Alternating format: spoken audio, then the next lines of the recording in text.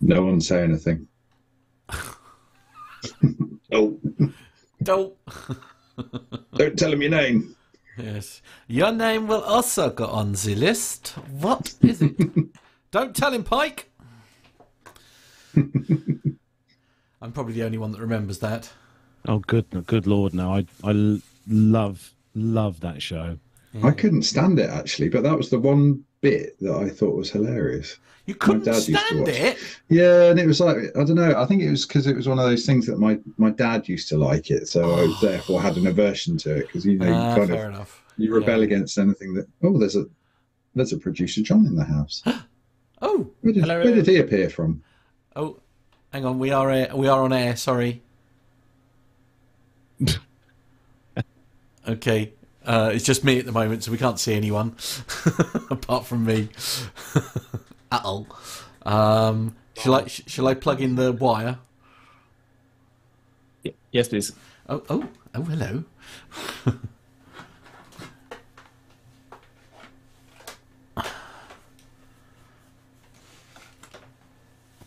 Uh, one moment. Where is where is the hell?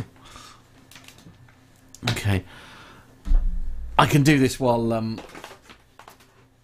Hang on. There we go. Yes, I, I can see Nev looking at the clock. It's all right. I'm aware. there we go. Right. Okay. Do do do do do do do do. Okay. Uh.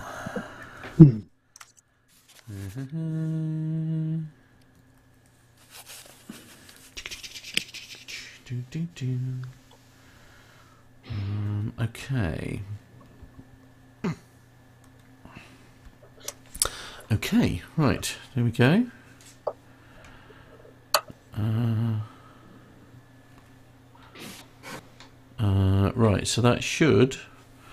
Is that working for everyone? Yes, it is. Excellent. Jolly good. Join. Excellent. Uh, I can't hear, but that's that's all right. That's fine. I'll work that out in a second. No, it should be okay. I can bring it up a tiny bit if everybody needs. I have um Okay, all right. I'll leave it alone. I won't touch a button. Very good. Very clear today. Bloody, it's really clear today. It Yeah. sounds like, Yeah. like, really. Ah, you've got a new boxy thing. Right, okay. So uh, let me do this so that I'm not uh, losing the what the what's it, and I'll do that. There we go. Say hello, Nev. Hello. That? that was lovely. Can you do that again? That was beautifully camp. Well done, dear. You need some uh, earphones in, Carlos. Yeah, I'm just finishing off this email. Right. I have um an ongoing support ticket open with ATR at the moment regarding my microphone. Oh, Um, it's now been tested on four different laptops, Right, as working or not working? not working. Oh well, that's good. um, and discovered a video on YouTube about a guy that had the same issue as me, and it turned out that he opened it up and there was a loose wire inside. So Okay, I don't open getting- it up. I'd let them do it. yeah, yeah, exactly. If it comes to that, then that's kind of what I'm hoping is that Yeah, they'll yeah. say send it back, um, yeah. or they might. Yeah, it's just, It you just can plug it in, and it, it, uh, it- one minute, by the way. One, Yeah. one minute to clock. the LED comes on, so it's receiving USB power, but it's not being recognized by the device manager or by Windows or whatever, and it's Mm. you know it doesn't make the little bongy noise that you normally get if you Yeah. if you plug a mouse or something in. Yeah. Mine doesn't do it. I think you turned off my bingy bongs on my I on did. this. Yes. Yeah. Yes, yes. Yeah. uh, Thirty seconds to clock. How technical is that? My bingy bongs. It's brilliant. I've never been more proud of you. Uh, Oh. Life wouldn't be life without a bingy bong. well, quite. Bingy bong to you too. Um, and Bringing up YouTube. Oh, there we go. Okay. You know, if my um, internet's a bit weird this evening, and my, my sound is very Okay. Don't know what to do with that. no, I don't. It's it's either slow internet or Or all or of laptop, above. I suspect. Right, just switching to output for a moment. Okay, here we go then. Good luck, everyone. Seatbelts fastened. Yes. Tray tables in their upright position. eight, seven, six, five, four, three,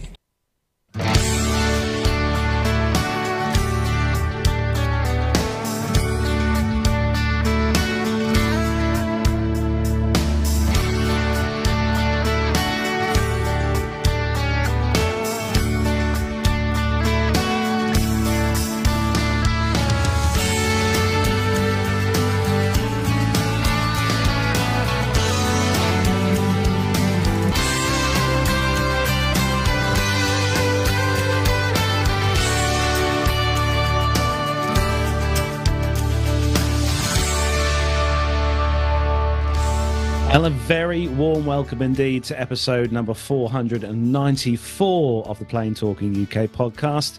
I'm Carlos, and in this week's pack show, we are playing Boeing Bingo. There's a retiring DC-8, and we have a great story about the return of flying boats. And we've had a very busy week for mishaps, so we have a complete roundup of everything that's happened this week.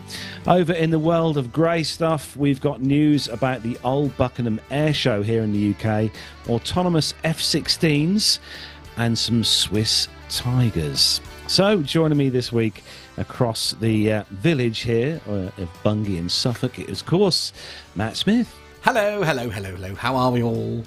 Good, good, good. I haven't seen you this week, Smith. You've- No, you've no. Been, you've been aloof. It's been the other way around this time. You've had time and I've not this week. Yeah, I know. it's been a bit mad, yeah. Been, been a bit, uh, yeah. Things are all a bit full on at the moment. I'm a little bit behind with uh, some of my work, so I'm having to put a little overtime in, which is very much a swear word in my world these days. Oh, oh, blimey. I know, I know. I haven't done that for years. No, I know, I know. Yes, I mean you barely do any work during the day. I'm not going to lie. Oi! uh, we're not going to talk about my well-appointed kitchen either. No, indeed. Anyway. what was that about a, a, a, toasty maker?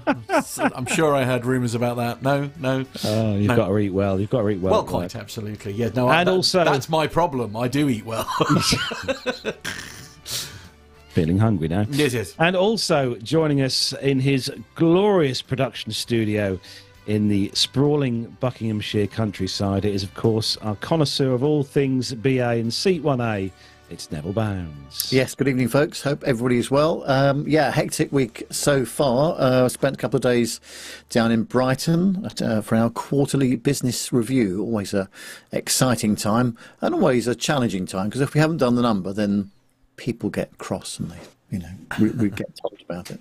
Uh, so uh, that's very good. Uh, over at Colchester earlier on as well, so almost over your side of the uh, neck of the woods. Um, a bit- of uh, roadworks going on on the A12, I noticed. Uh, of course they are. 40 miles an hour speed limit, so that's not good. Um, and uh, yeah, so no, it's been a, hectic week so far. Uh, it's gone very quickly as well. I can't believe it's Wednesday already. So yeah, amazing, really.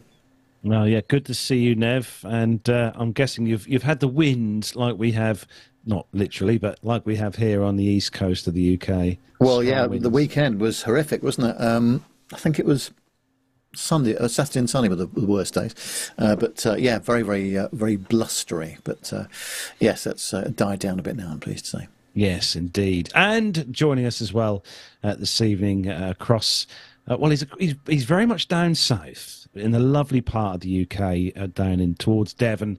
Is of course Nick. Evening, Carlos. Hi, everyone. And uh, yeah, nice to be back on. Uh, good to see everyone. So, uh, sorry to hear about your wind problems there, Nev. Oh. Hope that's uh, settling down. Well, yes, indeed. Yeah, we've been. It's actually been uh, quite fun with all this weather. Having a bit of uh, some nice live streams from Manchester and Heathrow over the last couple of days. It's uh, it's been quite fun watching those. Some interesting sporty landings going on. Sporty like that. Sporty, yes, very sporty landings. More on about that actually later on. We've got a good few video or videos or two to show you on uh, the show from uh, some interesting takeoffs actually uh, this week. But uh, Armando cannot join us this week. He, surprise, surprise, he's flying. Uh, actually, I think he is actually. Yeah, I think he's actually in the air now. Uh, flying, so he can't be with us uh, this evening. But he has sent us in a little video uh, just to say hello to all you glorious YouTube and uh, audio listeners of the show. So, Matt, hit the button. Hey team, uh, obviously as you can tell I'm not going to be on the show today. Um, what I tried to do today was fly during the eclipse. So today on April 8th uh, we had what was supposed to be 80% 80% obscuration of the sun here in Charlotte, North Carolina. My idea was to go fly, um, fly through the eclipse. It was a big old nothing burger. Man, it didn't even, it got a little dusky as my wife said. And that was about it. The only eclipse that's happening is just skydivers falling from the sky, covering the sun as they are falling to the ground. But um, I tried to record a little video, but can't actually see anything different. So uh, here we are. The guys have a great show, I'm sure. Uh, we're nearing in on the 500th. Got some cool announcements coming. But uh, yeah, I hope you guys have a great show. Um, I'm actually not flying this thing today when this airs out. I'll be uh, in the Hawker going up to Minnesota again. So y'all have a great show and we'll catch you later. so cool. Honestly. So so many people, as as well as our very own Sturman, who's in the chat room normally, would love to have a go in that aircraft. Oh, really? Yeah, it didn't. It, it didn't do anything for me at all. I mean, it was a beautiful looking aircraft. Don't get me wrong, and I have. I'm one of very few who have been very lucky enough to see it in the flesh. Not. Um, well, it wasn't officially Armando's at that point, uh, to be fair, but uh, yeah, I mean, it was a beaut- It's a beautiful looking aircraft. Uh, I'm not sure I would have. I'm not sure I could fly in it.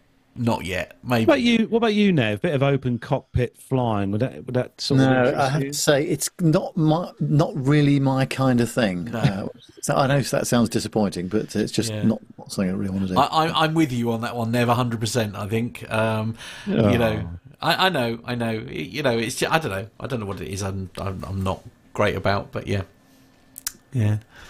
I'll tell you what. If we if we said, you know, to our listeners, there's a chance you can go down there today and have a go with Armando and the biplane. I'm sure we'd have a queue of people waiting to go. I expect. Yeah, I'm at the front of that queue. Just so Um, Oh, are you? Nick's at the front okay. of the queue. Yeah. Anyway, I was going to say. sus- I suspect producer John would also. Uh, would Oh, be he the same. would. Yeah, yeah. yeah, I'm uh, yeah. I'm bigger than him. Right. Okay. yes. He's um. Yes. Uh, uh, we do have a producer John with us today, which is uh, so if we do go suddenly silent because it's been we've not had him for a while. We're so not used to him talking in our ears anymore. If we do stop talking, you'll know why. Hello, hello, John. yeah. All right. He's just checking. Yeah. Joe. He's just checking in. so we're going to say a big hello to everyone who's joined us in the YouTube chat room this evening. Kicking off at the top of the list here, we've got Alan White. Hello to you, Alan. Good to see you in there. Uh, Neville Bounds is obviously wielding his blue spanner of doom, keeping an eye on all those naughty Oh, people who might drop in. Uh, Richard Adams is in as well. Good to see you. Captain Cruz is also there. Dirk S. Hello, Dirk. Uh, Hobby Time as well. Richard E. Flag. Good to see you in there. Uh, Bill, he's in there. He's he was ready and waiting for you to push that button, Matt. He was. Bill was. He was, yes. Uh, Tanya, hello to Tanya, the lovely Tanya. Good to see you in there. Nana's in there as well. Hello to you. We've got Darren Smith. Hello, Darren. Uh, good to see you as well. John Falk. Hello, John. He's only there briefly because supper beckons. He's going off for his Fair supper. enough. Absolutely. I don't blame you. Uh, food is always priority in my world. The lovely Masha as well is also in there. She says, Good evening, everyone. Hello, Masha. Lovely to see you in there. Uh, Neil Braden's in there. Good to see you, Neil. Good to see you in there. We've got, uh, who else we've got? I'm scrolling down the list. John Jester. Hello, John. Our resident uh, cargo captain is there. Good to see you, John. And if we scroll down, make sure I don't miss anyone else. Uh, no, I don't think I've missed anyone in case anyone pops in. But welcome to everyone who's joined us on the YouTube stream today. Don't forget, if you are an audio listener and you want to see how gorgeous we all look on uh, video, then check us out on YouTube. Just look for Plane Talking UK. Or don't. Or don't. Don't feel obliged. No need. Click on the subscribe button and the bell icon to be notified when Matt has pressed that live and broadcast button on the big computer in the studio. On the So big we've got- computer in the studio. Well, I could say bigs because there are a lot of computers in that studio. Could just Two computers. There are two A few. computers in this studio. and the laptops and the Oh, screens. There's only one laptop in here, I think. Oh no, there is two actually. Cutting no, I down- take it it's cutting down, it's cutting yeah, down. absolutely. I can't afford the electric anymore, mate. So we've got loads to get through on the show tonight, including our caption this, which is back this week, and we've got another great interview as well uh, from Dublin, and we've also got uh, the return again this week of our new segment on the show, our retro aviation commercial, a commercial break, which this week we're going back to 1980. So that's coming up later. Lovely. So commercial news time. Are you everyone ready? Ah, I, I, I, I think so. Let's go. The captain has turned on the seatbelt light. Please take your seats and fasten your seatbelts.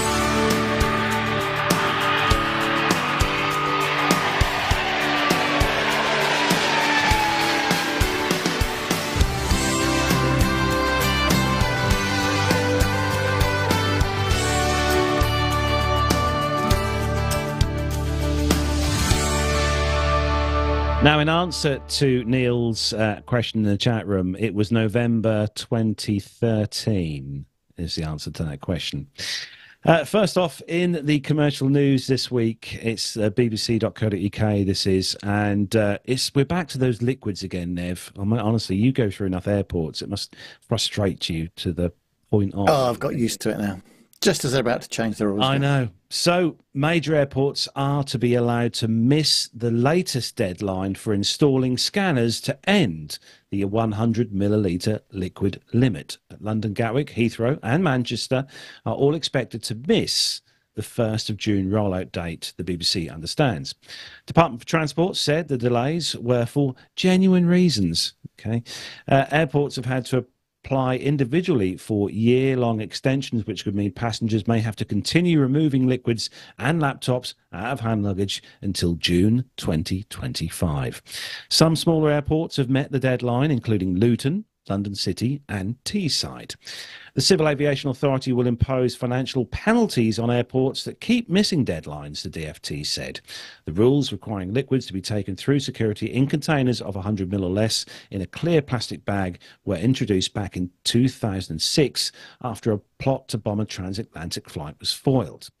The new scanners use CT X ray technology to provide 3D images, so items can be left inside bags and liquids up to two litres will be permitted. They're also already used in some other countries, including the US, although ministers claim the UK is the first in the world to attempt such a wide scale rollout. Airports were originally told to bring in the new scanners by 2022 uh, before the deadline was moved to June this year. Problems cited by airports include supply chain issues, the need for major construction to be carried out in order to have the scanners installed. X ray machines, similar to CT scanners used in hospitals, are very heavy, and in some instances, floors will need to be reinforced.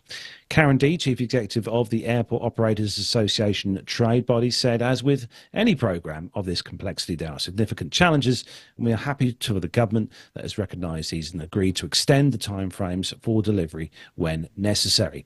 London Heathrow and Gatwick and Manchester are all expected to need more time to finish installing the new equipment across their lanes.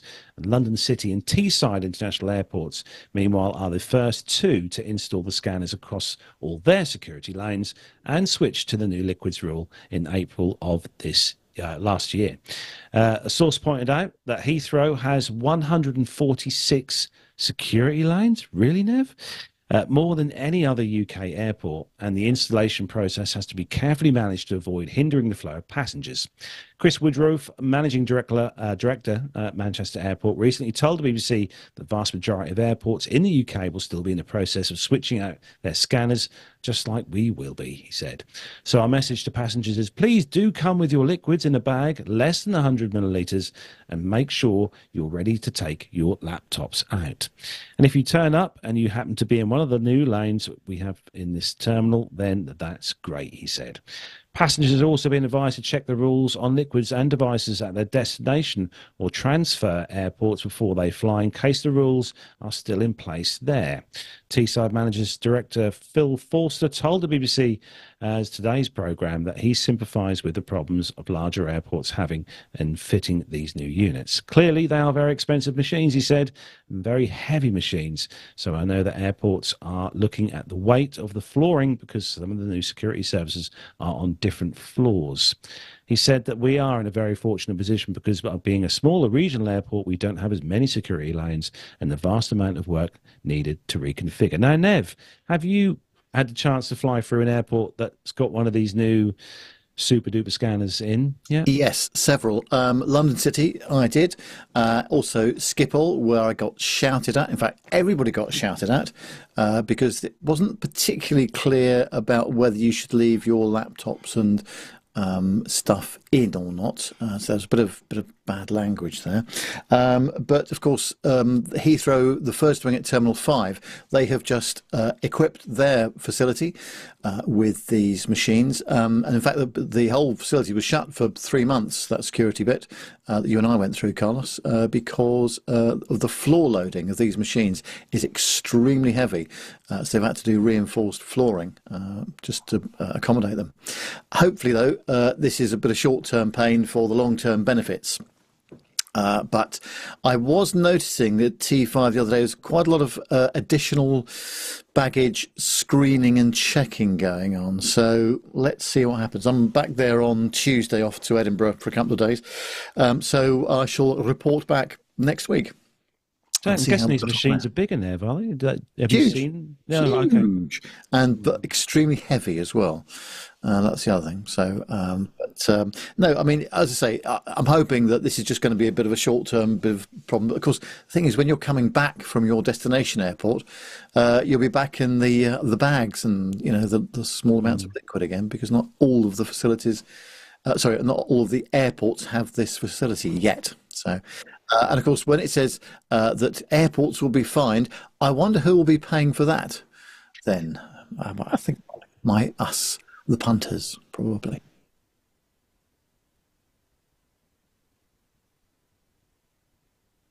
London Heathrow.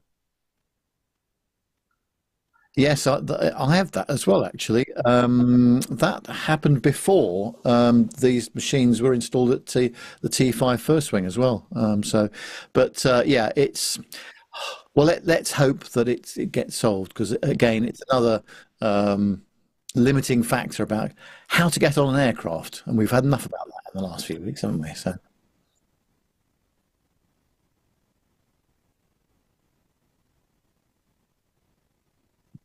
Yeah. Can I, I'm I the only one who noticed that they they'd missed one airport out on that on that whole story that is quite a busy airport in the UK? Stansted. Not Beccles, no. Stansted is not mentioned on there. I just no, couldn't help noticing that. Oh, okay. A uh, bit of report in the chat room that we, we can't hear Nick, says Dirk S. or Matt. So I don't know if there's some technical business going on there somewhere. Okay, try that. That probably helps. Ah. Nick Nick's on mute anyway. Yeah. Okay. right. no, that's a technical problem. I'm definitely still there. Yeah. No, sorry. I, I, I, I had the wrong fader up. Oh. I've solved that now. Yeah. I've I'll try not to take it personally. Yeah. Indeed. No, fair enough. Uh, yes. Uh, just just a sort of rough thing. Basically, we're saying. Uh, uh, well, D- Darren had a couple of messages. Uh, one of which was I went through one of these scanners in Terminal 2 at LHR. You have uh, to empty your pockets, everything including tissues. Uh, and then Alan White was saying uh, that it's shocking. T2, um, not that one. Uh, but yeah, the bags go through quickly. Now people are stopped to find a hanky in their shirt pocket. I must admit, a few uh, last year when I went flew out wherever I, I think it was that was probably the US. I think it was when I flew out there. I forgot to take my wallet out of my back pocket, and that was frowned upon. Oh, really? Yeah, I had to go through the um the, the door, the beepy beep door. Ah, uh, yeah, yeah. No, yeah. Well, I, I, have that because it's like um it's like if you're wearing jeans or something like that, isn't it? It's the same sort of problem. It. it uh, I completely forgot. I, yeah. I normally take it out and put it in the tray along with yeah. the uh, with the case and stuff. Completely forgot. Yeah, they didn't didn't find that impressive. No. So uh, Nev, you've got uh, the next story all about, um, well, Russia. Yes, I do like the way some of these stories are written, and, and the first paragraph of this uh, will, will summarise it. It's on the aerotime.aero, and it says that two Russian nationals based in the United States, open brackets, US, close brackets, have pleaded guilty after they were caught acquiring and unlawfully exporting controlled aviation technology to Russian end users.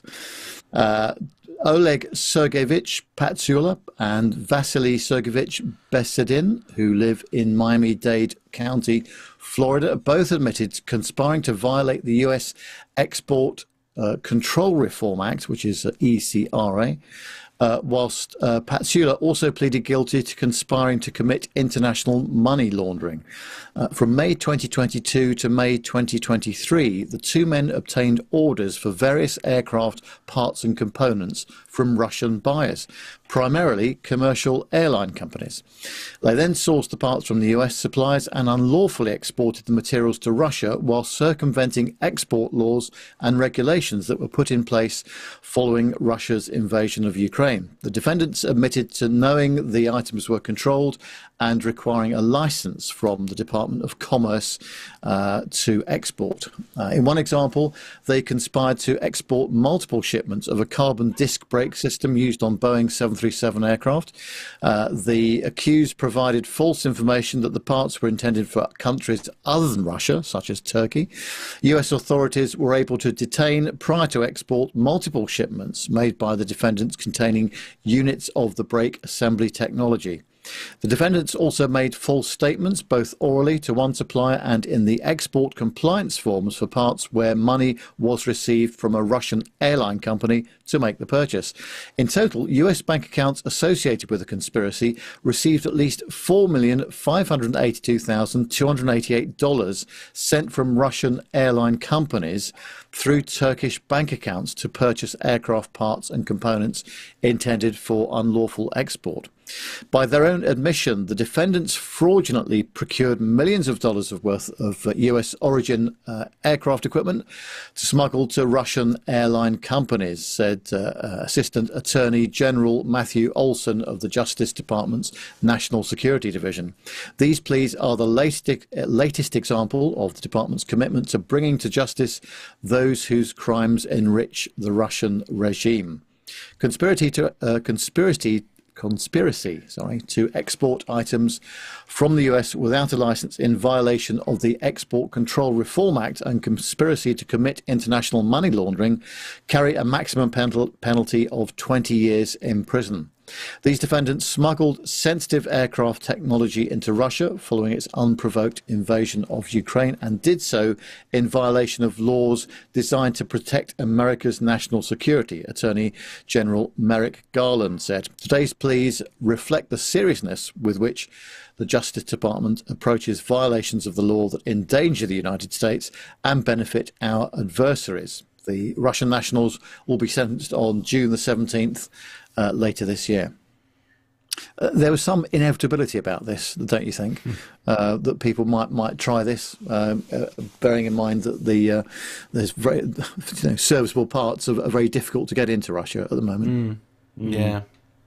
It wouldn't surprise me if there are other people also doing this. We just haven't heard about it yet. Yeah. Because there's got to be a heck of a demand, hasn't there? There's still an awful lot of aviation going on in Russia, Mm. And they need to get parts, and they've got a lot of uh, a lot of Airbus and a lot of Boeing's. Yeah. It does make you wonder where they're getting the, the well, where they are getting the, spa- the spares to keep their fleets going, because obviously they are still they've still got a functioning airline, uh, a state airline, haven't they? Aeroflot in, in Russia that's still still you know flying to various destinations. Um, and these aircraft have to be kept going. I mean, whether they've just got a big reel of uh, mask and tape to cover off all the lights that are on the dashboard. Yeah. Sorry, uh, Al- Alan's just saying, uh, Sir, can you walk through the scanner again, please? There must be a mistake. An A320 Fowler flap has just shown up on your trousers. Ooh, uh, Mrs. Very good, Alan. Very good, Alan. Love Now, it. Matt, you've Yes. got the next story, which is a very expensive story. Right, okay, yes, we'll take a look at this one then. Uh, it's. Uh, uh, Nick has suggested in the notes here, hey, guess what? It's a Boeing Max Alaska story, but he didn't see that coming. Should we start playing bingo? Uh, Indeed. Uh, the headline Boeing pays Alaska Air $160 million after mid air blowout. Uh, the uh, Boeing has paid $160 million. That's 126 million pounds uh, to Alaska Air to make up for losses the airline has suffered following a dramatic mid-air blowout in January. Alaska said that the money would address profits lost in the first three months of the year, and it expected further payouts in the months ahead. However, a law firm which is representing some of the passengers on Alaska fl- on the Alaska flight has criticised the move. Apparently, Boeing thinks it's more urgent and important to pay those whose corporate profits were at stake and not those lives who were at stake and nearly lost, said Daniel Laurence, a partner at uh, Shritamata firm at the Stritmatter firm, sorry. Uh, airlines are now contending with delivery delays as Boeing slows production of the new planes to try to resolve the manufacturing and safety concerns. In February, Ryanair warned that holidaymakers faced paying higher fares because of the delays. United Airlines, which had a, also warned investors of, finan- of a financial hit from the grounding, recently asked pilots to volunteer for unpaid leave due to the delivery ch- changes. In January, Alaska are warned of a roughly $150 million hit, although we did experience some book uh, some book away following the accident. What does that mean? Uh, we did experience some book away. No? Okay. Uh, following the accident and uh, 737-9 MAX groundings. February and March both finished above our original pre-grounding expectations, the airline said. Uh, Boeing did not comment, but warned earlier this year that the ex- that it expected to spend at least four billion dollars more than expected in the first three months of the year. The company had uh, been in crisis since the 5th January emergency, in which passengers on the Alaska Airlines flight from Portland, Oregon, and bound for California narrowly escaped serious injury. Uh, an initial report from the US National Transportation Safety Board concluded that four bolts meant to attach the door securely to the aircraft had not been fitted. Uh, Boeing is now facing a criminal investigation into the incident itself, as well as legal action from passengers aboard the plane. Last month, Chief Executive Dave Calhoun uh, said that he would step down by the end of the year, the most high profile leader to leave the company in the wake of the crisis. Yeah, it's it's quite right what Nick puts in the uh, in the show notes here. You know, where is their big pot of money? I mean, that, that they must have a hell of a pot of money because you know they've got this fine they're paying out. They're obviously paying out the passengers. You know the stuff for that, and obviously they're going to be paying out fines for this that, and the other. Their pot of money must must be huge at Boeing. But then, like I've read, I've read before online as well in the last week. You know, it's not just the commercial side that Boeing have; they also have their military side of the company as well, where, where they produce you know, military aircraft, which obviously, I think, Touchwood at the moment is doing reasonably well. Um, so perhaps they're, I don't know, perhaps they have got an endless pot of money. I wish I did. Indeed, indeed. Yeah. Who knows? Right. Moving on to the next one, Nick. You've got this, and uh, God, this is only a few years back. I saw these guys uh, on a stand at an air show. Yeah, it's a bit of a shame about this one. So this is about um, the Icon Aircraft Company, uh, based over in the states. Um, some of the longer term listeners of the show might remember the interview that I did with Elliot Seguin, uh, the test pilot, who uh, he actually did quite a bit of work for these guys in helping them to prepare the aircraft and do some um, do some updates to it. So um, yeah, it's a bit of a pity that this has all um, gone a bit sideways for them. So Icon Aircraft, manufacturer of the Icon A5 amphibious sport plane, has filed for Chapter 11 bankruptcy. Company officials say they're looking to sell the business uh, under Section 363 of the Bankruptcy Code while continuing to support its customers and operations during the Chapter 11 process. The purpose of the Chapter 11 filing is to resolve the company's financial challenges and position uh, and positioned the A5 for success for years to come, said CEO Jerry Meyer. We understand that this situation creates a hardship for everyone involved. However, without taking these steps, there is not a viable path forward for the business to do what we do best build incredible airplanes and support our aircraft owners. The company expects to continue operations during the Chapter 11 process and seeks to complete an expedited sale process with the bankruptcy court approval, company officials added. Icon Aircraft has arranged for debtor in possession financing to fund operations during the bankruptcy proceedings, including honouring commitments to customers and vendors and fulfilling obligations to all employees, officials noted.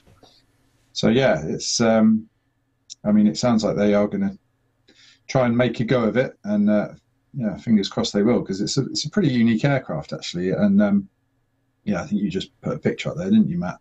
It, I, I think did. they've gone to quite a lot of lengths to make the aircraft um, easier to fly and easier to train to use it, so that um, less experienced pilots can kind of jump into it and get up to speed a bit more quickly. Uh, they've made the the avionics and the the controls uh, a, a bit more simplified, I guess. Um, yeah, so it would be nice to to see that they can try and keep this one going. Hopefully. There was a story released um, earlier on today, well, actually, first thing this morning over in the US. And apparently, according to the story, it says here that um, Icon are $173 million in debt. Wow, Goodness. that's a big number. Mm, Yeah. That's, that is a um, big number. That is a big number, yeah. Such a shame. Because the amphibious one looks awesome. There's um, if you go on the Icon Aircraft website, there's a video of their amphibious version. It's, it looks looks so good. It Yeah. honestly does look really Yeah, good. it's a really cool thing. yeah. That's the only one they make. Hello, Armando. Hi. Where did he come from? Look yeah. at- I, look I, at it is. ter- that that green screen's very boring. It's by green the way, just screen. saying. Uh. Hello, team. Hello, Armando. I'm Are just you, with uh, you for a little bit. We've landed. The airplane is uh, buttoned up. We're here at Atlanta Hartsfield. Oh, as you do. Huh? Nice. Get you. In amongst the big boys. Today, yes, indeed. It's a challenging weather day, so um, it's always fun to knock out an approach right into Hartsfield. I bet. Excellent. I bet. Now, this this one might interest you. Uh, next story, Armando. If you've not already seen this and clicked on the link, because it's quite it's a good bit of fun. Uh, comes to us from Aerotime.aero, and EasyJet have launched an online pilot aptitude test to find the next generation of recruits.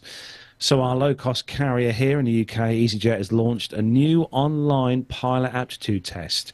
And the test is part of a pan European recruitment campaign designed to expel the myths about the type of people that can become pilots and encourage more applicants from unrepresented groups.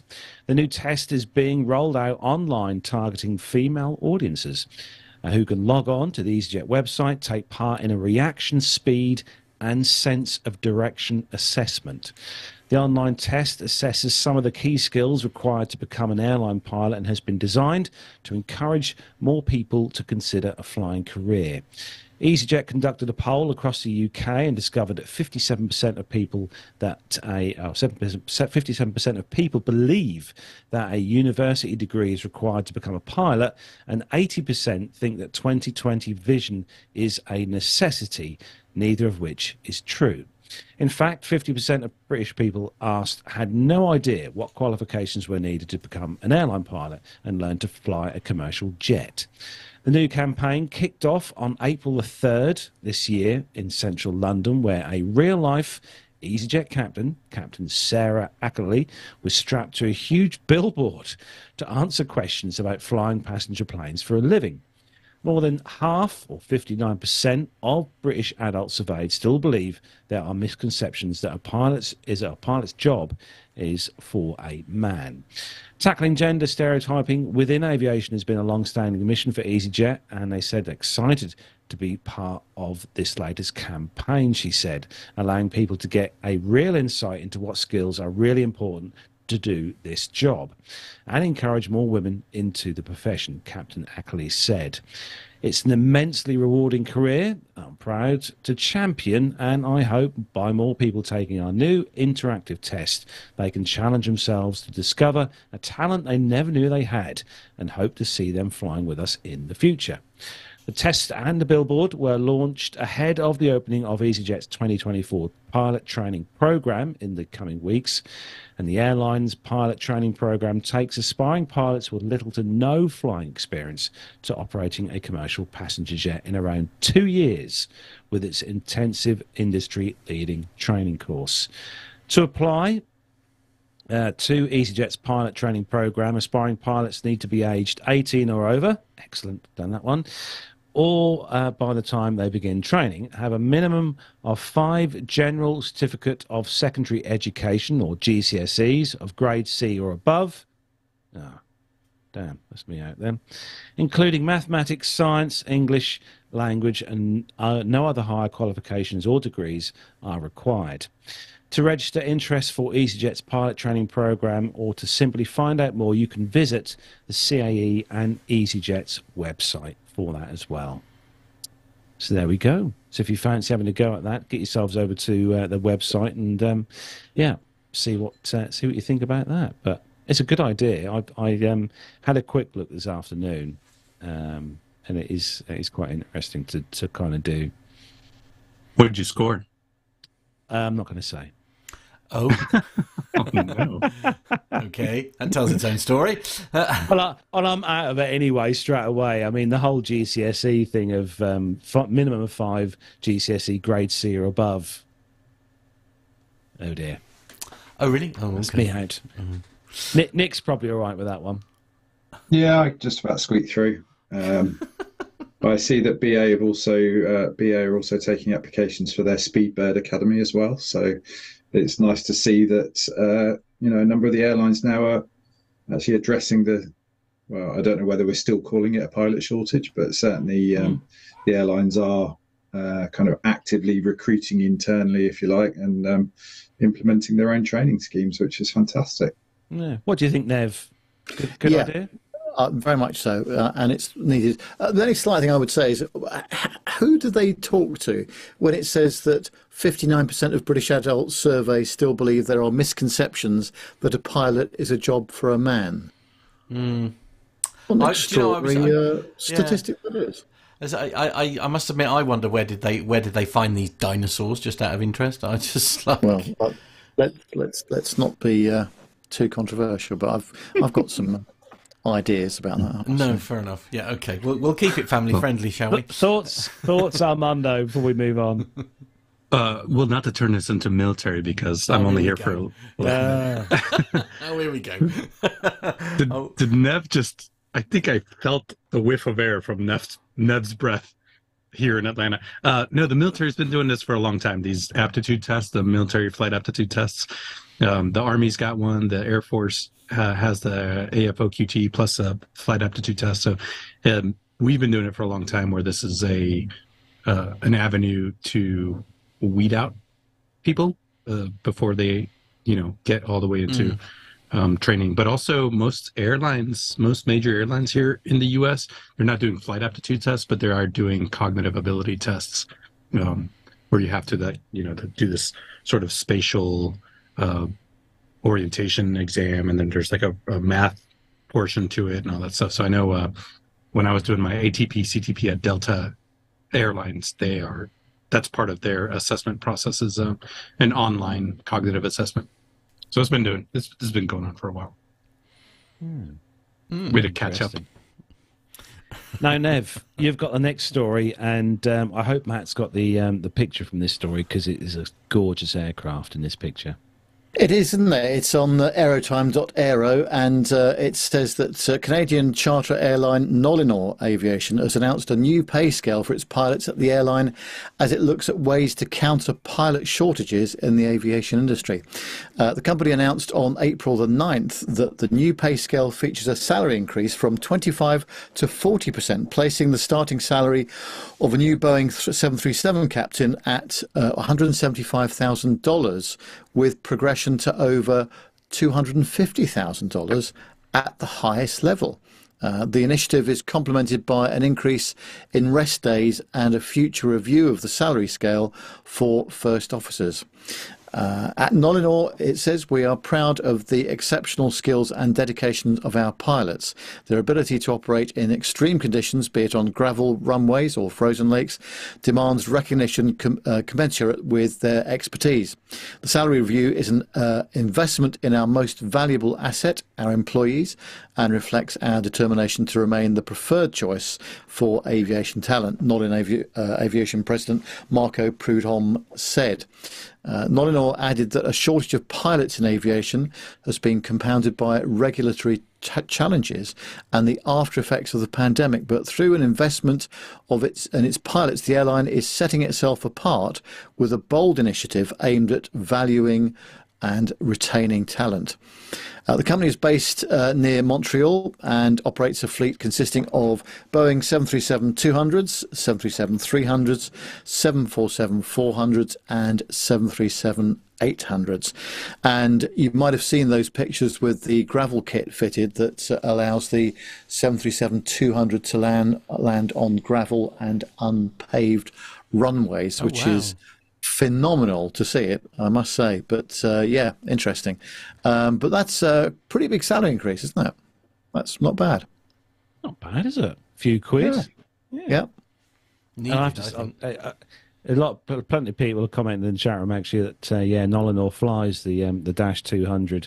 Definitely one of those um, more uh, iconic looking 737, the versions of the 737 Nev, don't you think? Yeah.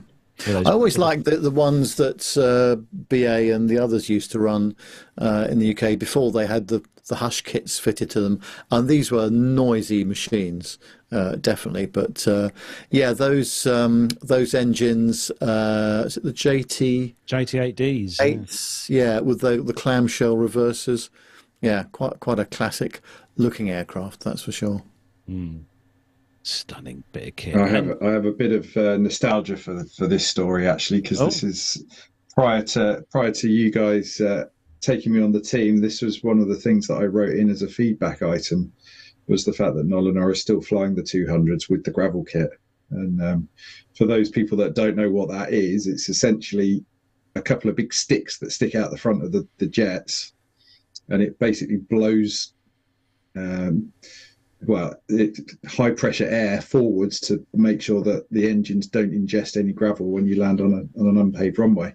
Um, and it also has some deflectors uh, fitted. Is it just the front wheel or is it all of the wheels? I can't I remember. think it's the front wheel, isn't it? On But yeah. but yeah, these guys that I mean the the places they go into, they're going into kind of um, places where you sort of think twice about driving your car. Really, um, Right. you know, right up in the north of Canada where it's kind of um drilling for oil and all this kind of stuff, and they're they're basically taking in. Uh, crews to work on uh, the oil projects up there as well as cargo, um, and the one of the unique things about their aircraft is the fact that they do a do the combi setup where they're they're actually Oh, half they've got and half. passengers and cargo um, in the fuselage at the same time. Oh. So yeah, it's it's a really cool operation that those guys have up there. It's uh, yeah, pretty unique. Yeah. Awesome. There's some good pictures out or videos online of that, actually the the combi versions. It's very interesting. Now, moving on to the next uh, set of stories. This one because it's been one of those weeks in the world of aviation. For those of you who might follow Aviation Herald, you probably have seen that there's been a few incidents this week of slight mishaps.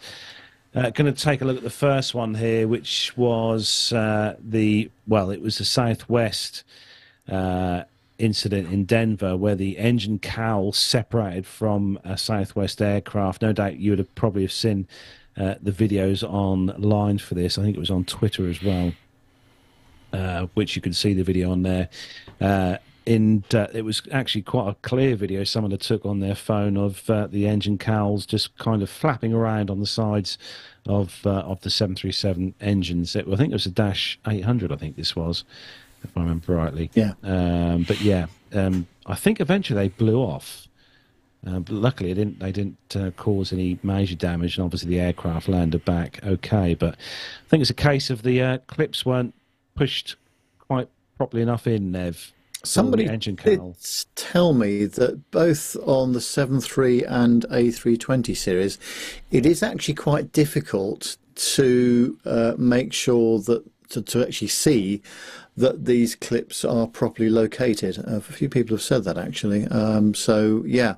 Um, it's it's the ground crew's responsibility, but ultimately it's the captain's responsibility, or whoever's doing the walk around, uh, to make sure that they are uh, well and truly fastened, isn't it? So- Nick, you've got the next one, which uh, we've got a video over this one, haven't we? Yeah, so this was um, an Edelweiss flight uh, which was leaving Zurich.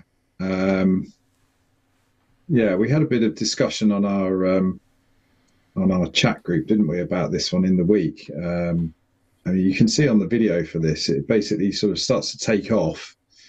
Um, and there, there we go. The the video is rolling now, so it sort of commences its takeoff roll, gets up to speed as normal. Everything sort of looks like it's pretty normal. Gets to rotate. Aircraft starts to go up. Aircraft starts to go up. And then aircraft starts to go down again. And it sort of pitches the nose down and sort of settles a bit.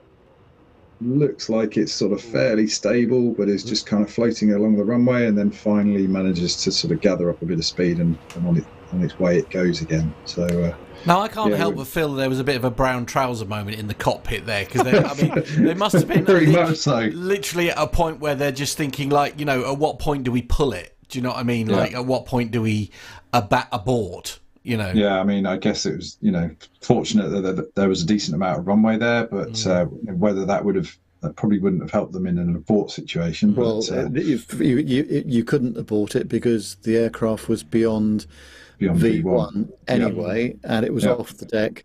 Um, now, lots of conjecture about what the thing, whether it was uh, incorrect power setting, incorrect flex setting for those engines. Um, there was a tailwind involved, possibly as well. Um, and there's so many things that, that could have gone wrong there. So it'd be interesting to see what the uh, the report uh, comes up with. But of course, there's plenty of high ground around Zurich Airport as well. And, and the uh, A340 300 series is not known for its particularly high performance engines compared to the 600 either. So, uh, Armando, what, what do you think? What, what's happened here? Do you think? Uh, so nail on the head, Nev. Uh, as far as the abort, the, once you're airborne, you're going one way or another. And there's a lot of videos of uh, airplanes in South America, the mostly freighters, that are you know I don't know how they do performance numbers down there, but uh, they will just keep it in ground effect and and then zoom off into the sky. But you, you're not wrong. I think there are probably a couple moments in there where they said, if nothing else, they're like, oh man, we really messed this up. We're going to have to report, talk to our chief pilot about this. Um, the winds, I don't know that there was much of a wind because if you go towards the end of the video, you can see that there's a smoke uh, rising in the background from one of the hills and it's pretty straight up and down. So um, I'm going to lean towards uh, improper performance numbers put into the box. Yeah, John Jester says in the chat room, actually, Armando, wrong weight or entered wrong weight. That was a very scary Mhm. event, he says. Well, yeah, and at that point, you're not going to put it back down on the ground. You're just going to you you really are just at, you're so far off the reservation at that point that hopefully you are relying on some airmanship skills that you have developed somewhere else to stay calm and just keep the airplane flying. Yeah. Yeah. Yeah. Scary moment, especially with hmm. passengers as well. Don't forget hmm. the people sitting in the back as well. It's the bit where the nose dips that you, you know will have been an emotional event for the passengers, shall we say? Yeah. Because you, you know any, anybody who's done any form of flying will think this don't feel right. Yeah, you will accelerate. It's just what's in front of you. Yeah, yeah, yeah. True. now, Matt, you've got um, the next one on here, the next uh, event that happened, and when when I saw the pictures of this online, I could not get over the extent of the I know, damage. I know. This is this is very much. Uh, oh, hang on. Sorry, I just realised I got. So I got used to having John here, who's not here now, and it was. so I got all the uh, the buttons like getting all all lackadaisical. It's uh, uh, the headline goes on this one. Meanwhile, over in Austria, a poor innocent Airbus goes several rounds rounds with a jet bridge and comes off somewhat second best. Uh, the second best is this. That's quite the dint. Isn't it on there? Uh, so it's the the tail the tail end, I suppose. Is it? Yes, it is the tail end of the of the, jet Stabilizer. here. The Yeah, stabilizer, horizontal stabilizer. horizontal stabilizer, and um, yeah, I Going to take more than a bit of speed tape to fix that. yeah, I think yeah, that was going to need to. That's going to, yeah, that one. that one may be a challenge to buff out. Uh, yeah, that's quite a. Um, I'm fascinated to know. Oh, I suppose because it's it's ripped off the. There's a bit missing there, isn't there? That's what the problem is. Yes. Yeah. All right. Fair enough. quite quite a big bit, I would Yeah. say. Yeah. Yeah. Yeah. Yeah. Yeah. yeah. I'm curious to know what the sort of sheer um, the force must force have that's quite required in order Yeah, to yeah, remove yeah. Damage that. is 'cause, you know. That's that's a Yeah. that's Also- a significant chunk of the aeroplane. Also, It- it- what happened here? The jetway was on the aft doors, and the airplane was moving forward, and then it ripped off the elevator. Like, Yeah. I what don't is know going we- on here? If, if we look further down as well, there's they've they've also managed to back the wing into a lamppost as well, just to really kind of you Just know to be rock really salt sure. into the yeah, wings. absolutely. Yeah, Yeah. yeah. Yeah. yeah. There's- to there's really also- sure.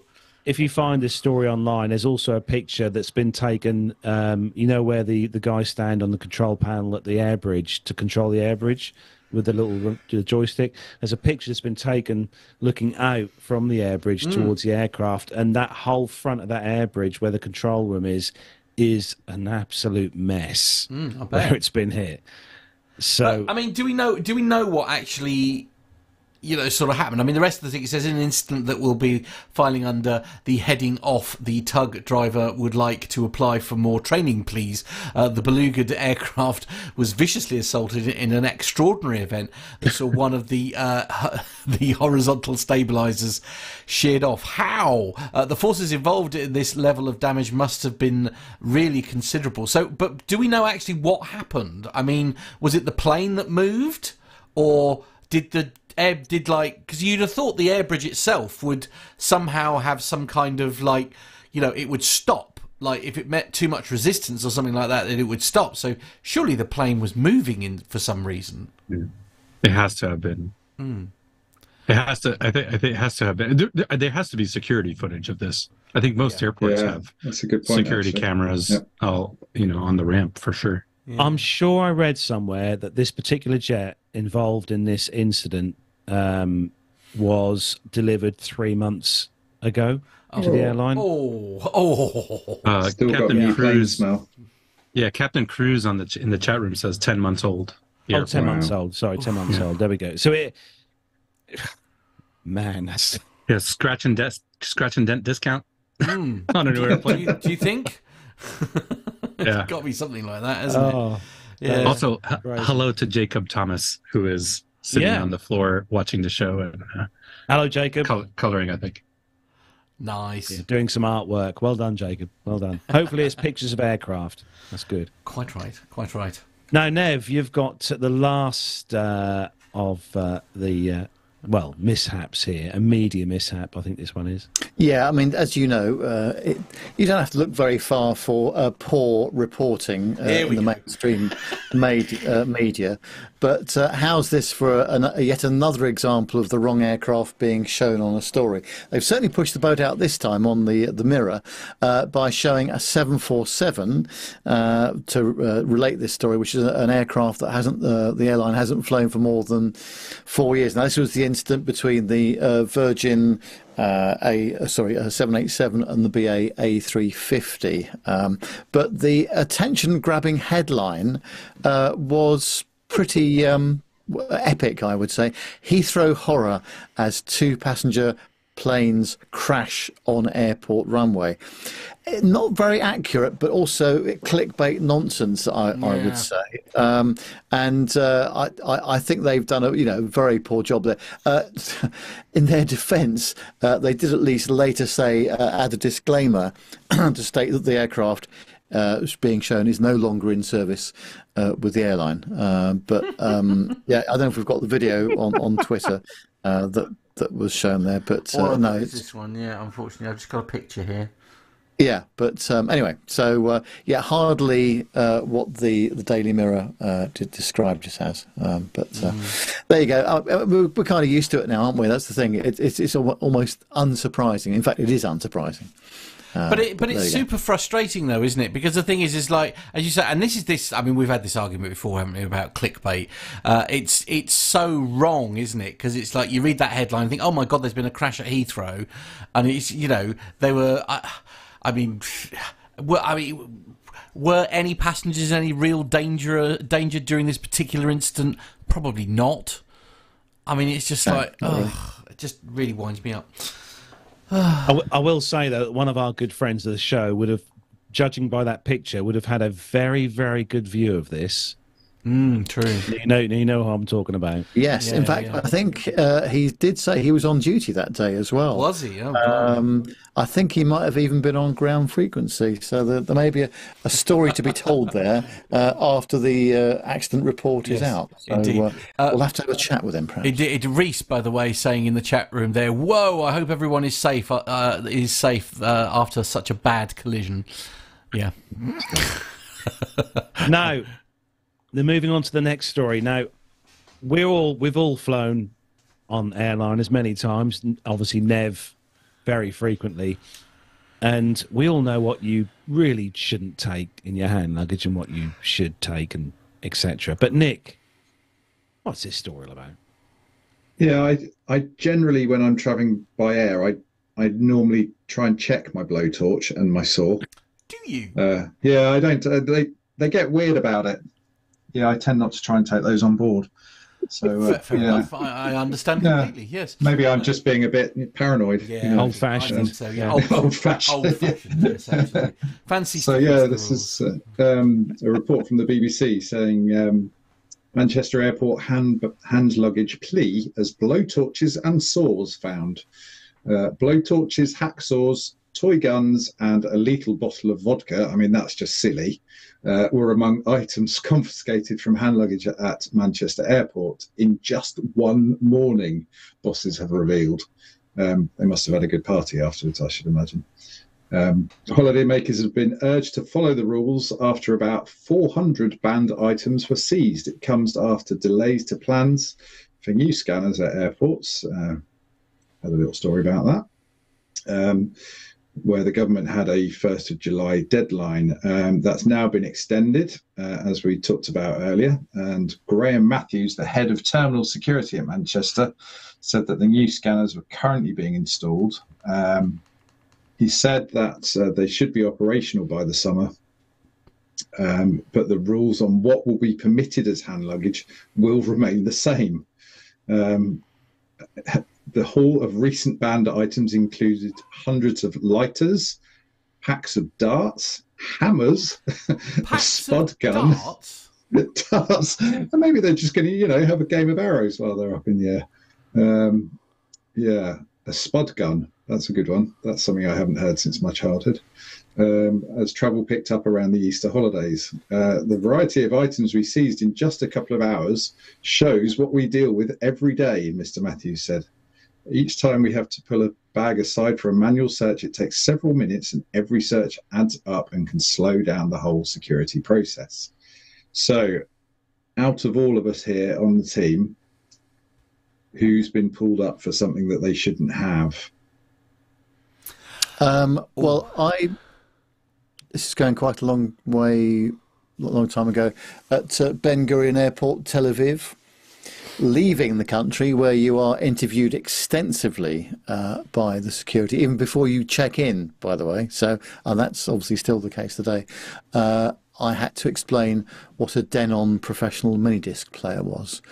I had to explain that for about 20 minutes before they would let me take it on the aircraft as hand luggage. Um, but uh, yes.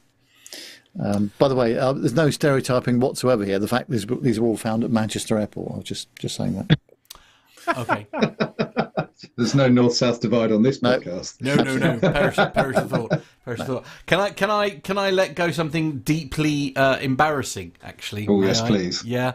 Um, Word. Our rec- our recent trip to Ireland, in fact, I have to confess, um, going through the airport security and I'm going to blame Armando because the last trip I did is I went to the States where I had uh, everything went in my uh, suitcase, so I didn't have to think about it because I completely, and I, ge- this is genuine. And as soon as I got pulled to one side, I knew ima- immediately what I'd done. I'd forgotten about the 100 mil um, rule, you know, and yeah, so I to, the lady was I should I, I should say actually the lady was absolutely wonderful because I was so embarrassed when I realised what I'd done because I just put my wash bag in, in, in my, my hand luggage didn't didn't bat an eyelid to it. And of course I'd got my full mint sauce a brand new bottle of mint sauce um you know shower gel and all that kind of thing that all, I know that all that all went straight in the bin along with my can of deodorant.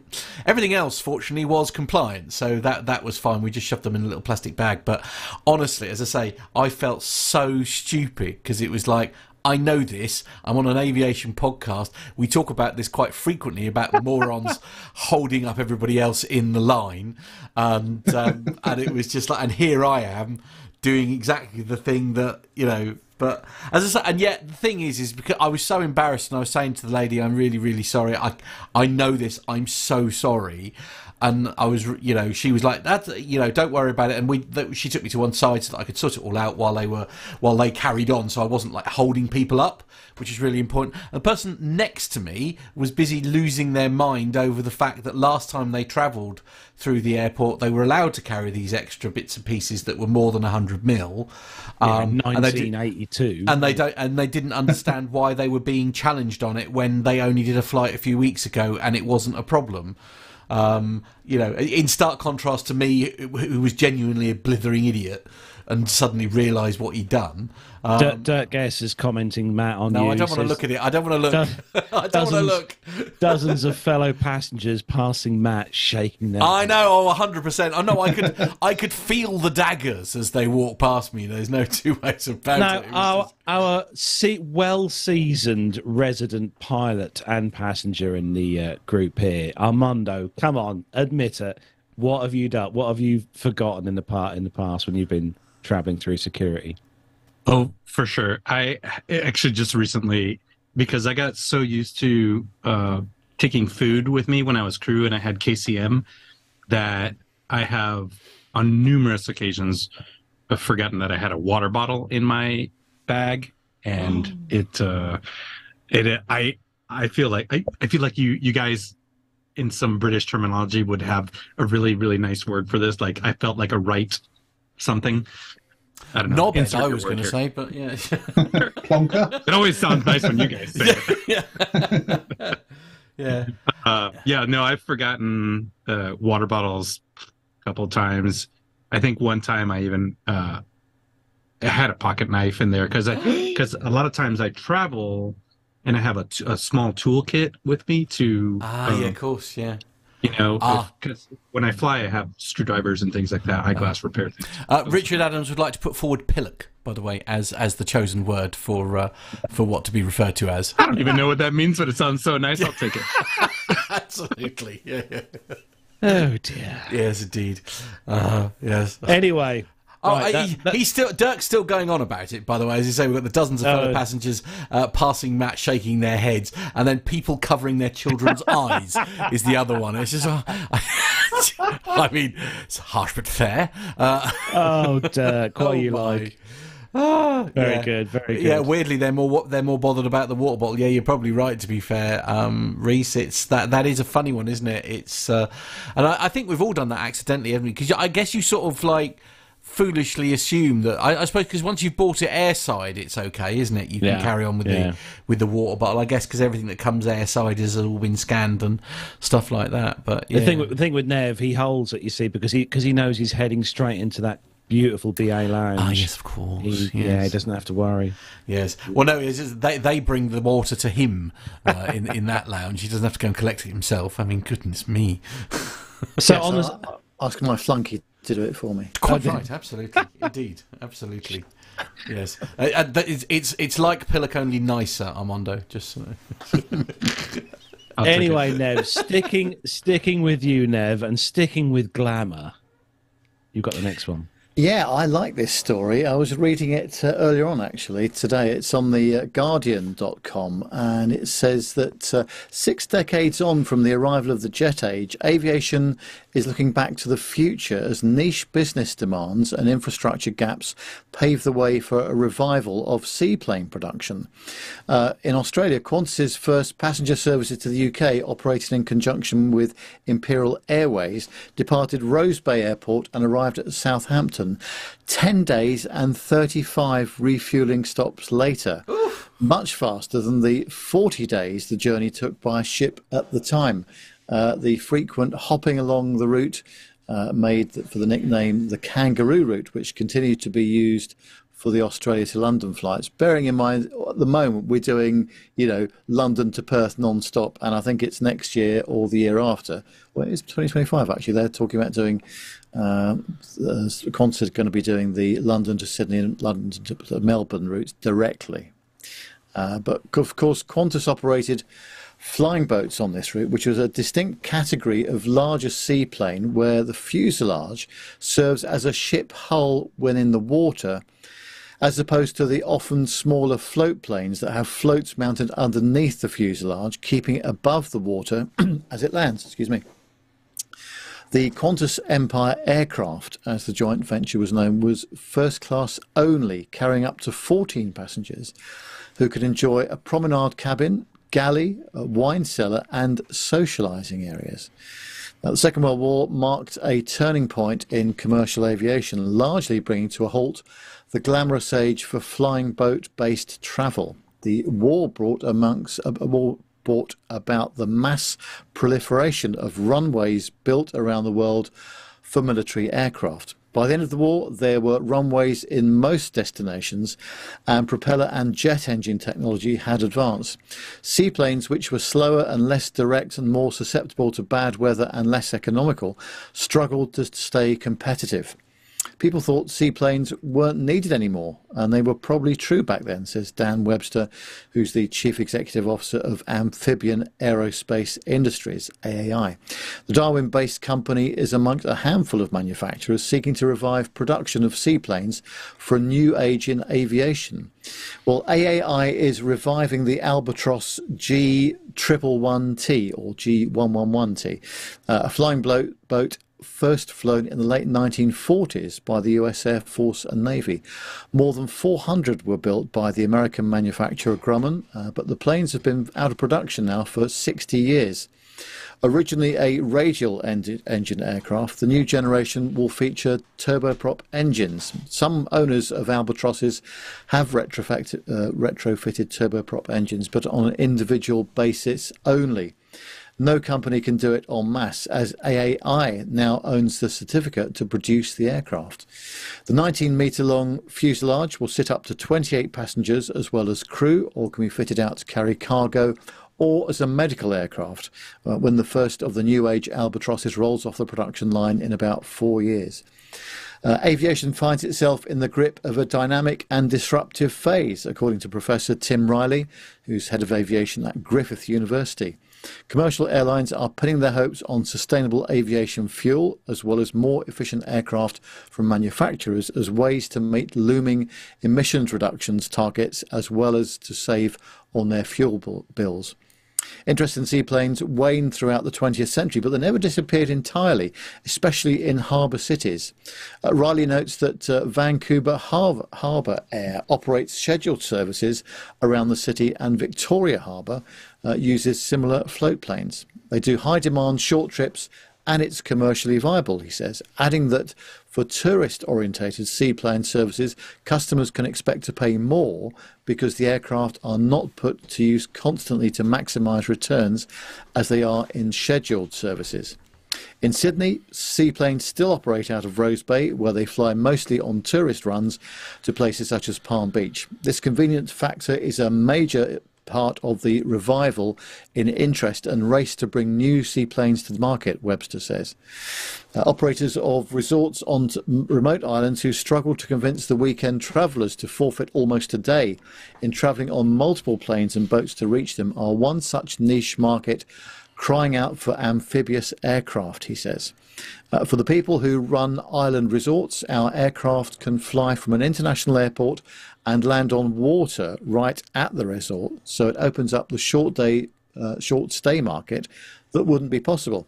As the world has grown and islands have developed around the Pacific and north of Darwin, the equation for seaplanes has changed again.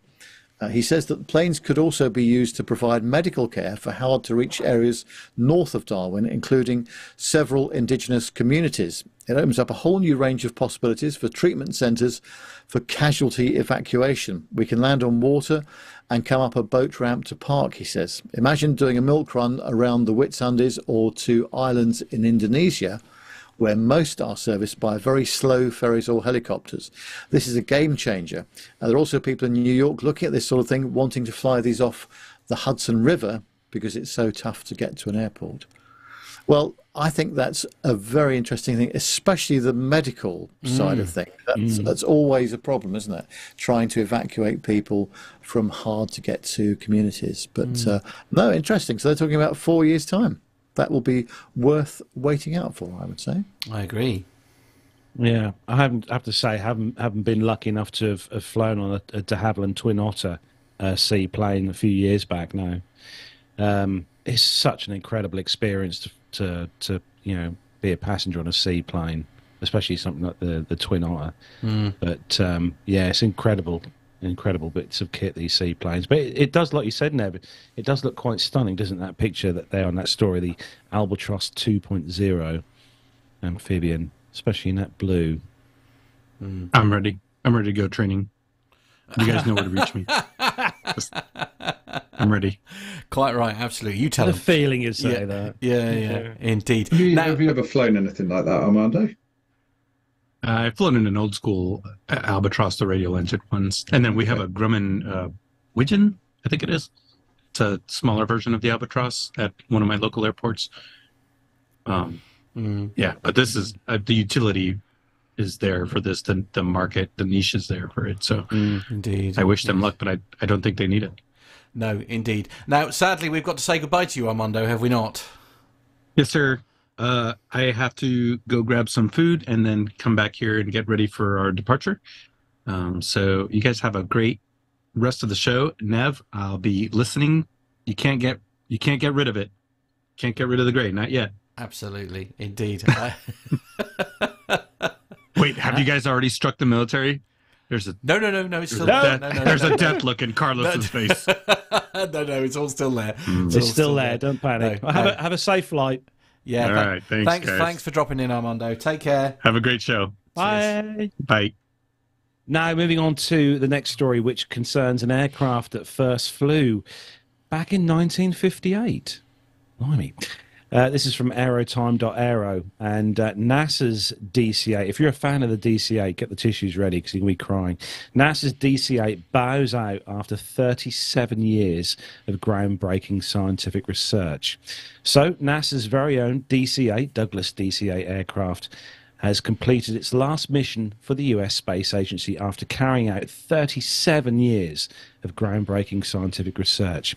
The four engine powerhouse, famous for being the largest flying science laboratory in the world, joined NASA back in 1987 as the core aircraft for the agency's airborne uh, science missions. However, on April the 1st this year, the Intrepid narrowbody aircraft registered November 817 November Alpha completed its final mission and returned to the agency's Armstrong Flight Research Center Building 703 in Palmdale, California. A water salute by the U.S. Air Force's Plant 42 Fire Department greeted the DC 8 and crew home after the aircraft spent 2024 collecting detailed atmospheric data over several locations across Asia. As well as supporting scientists, researchers, and students from NASA throughout its career, the DC-8 also played an important part in research for federal, state, academic, and foreign institutions. NASA's DC-8 was built back in 1969 and stretches 157 feet long with a 148-foot wingspan. The aircraft has a range of 5,400 nautical miles, can fly at altitudes from 1,000 to 42,000 feet for up to 12 hours. The jet has been highly modified uh, to support the agency's airborne science missions and incorporates a suite of sensors, data systems that can be tailored to specific missions or instruments. The aircraft will officially retire in May uh, this year after concluding operations and then move to its new home at Idaho State University, and I hope I pronounce this correctly, Pocatello, Idaho where it will be used to train future aircraft technicians by providing the real world experience in the college's aircraft maintenance technology program. Now, that's good news. I'm glad to see they're not just going to fly this out to the desert, cover it in tinfoil, and hide it away forever and ever. At least they're going to um, use this for you know for a good purpose afterwards. But do you know what, Nev? Of all the aircraft that I've flown on in my many years of going, you know, ran Europe and the world on aircraft. I never got the chance to fly on a DC-8. No, me neither. No, uh, and uh, yeah, what a what a classic aircraft uh, it is, Mm. or it was uh, too. But uh, no, me neither. I, I never had the chance to go on the DC-8. And did you know, Nev? They they uh, when they re-engined these, they re-engined these with the CM56, CFM56. Oh, okay. Power the um, Right. yeah, power the air, the 320s. Ah, yeah. Interesting. Yeah. Was it no? Sorry, the seven three. Sorry, powered the seven threes. Yeah, had Yeah. Uh, they retrofitted those on to the aircraft because it was originally powered by the JT3D, Hmm. which was the predecessor to the JT8D. So yeah, bit of history there for you.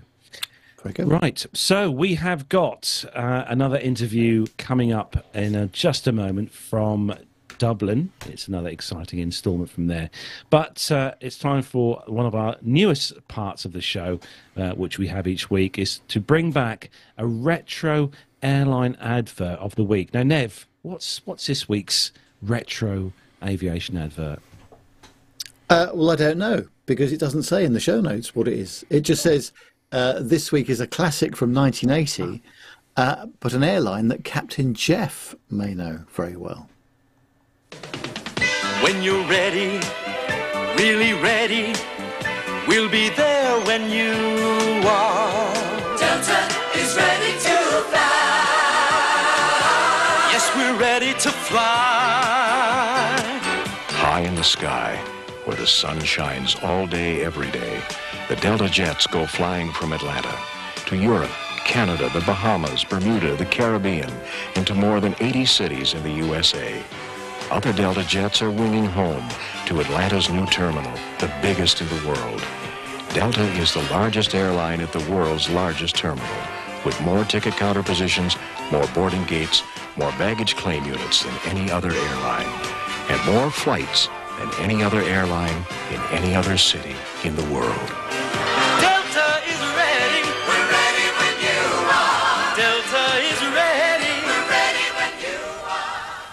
Well, there you go.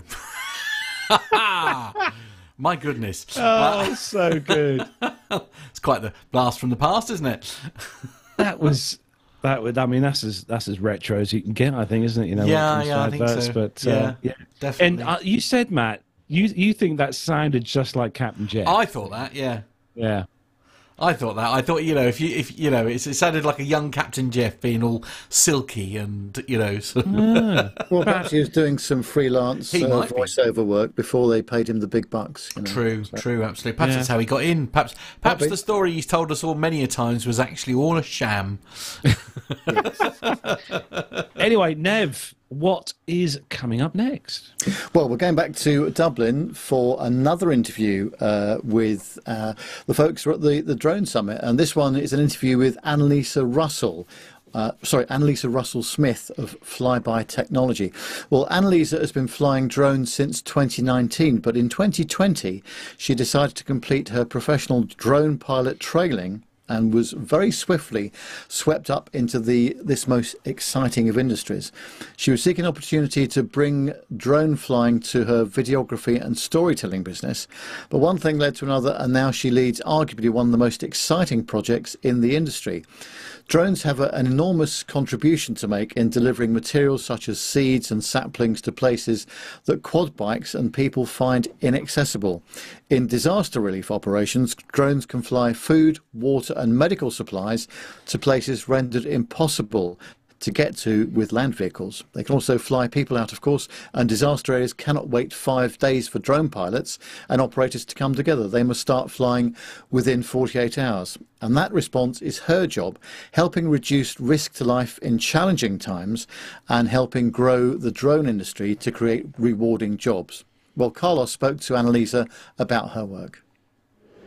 So I'm here with Annalisa Russell Smith from Flyby. Great to see you here. You too. Um, yeah, thank you for having It's me. good to have good to have you on the show. So tell us a bit about uh, what you do. Okay, so uh, I wear a lot of hats because I work for um, a small company. Like you said, it's Flyby Technology. So uh, as CSO, I'm responsible really for making sure that we uh, are able to produce the best possible product for um, for our clients, but also to determine the direction of travel for the for the company because the drone industry, as you know, is a fast-changing environment. We um, have designed a capability for uh, military use, but it's a dual-use platform, so um, there are lots of possibilities for it. So looking at how you developed not just the aircraft, but all the relationships that you build to go along with it, that's all sort of part of the role that I uh, fulfill, and lots more besides. So a bit about the company Flyby then. What is their kind of mission statement as such? Well, um, we've actually been looking at what our mission statement is because you know as you uh, evolve as a business, you know your it's not that your that your vision changes, but the statement of what you actually are, are actually doing uh, might change. So. Um, the, the company was founded by John Parker, uh, who was a former Sea Harrier pilot, Buccaneer pilot, uh, Tornado pilot, lots of experience uh, as a weapons instructor, but he also was the um, uh, aviation integration manager for F-35 into the two new aircraft carriers.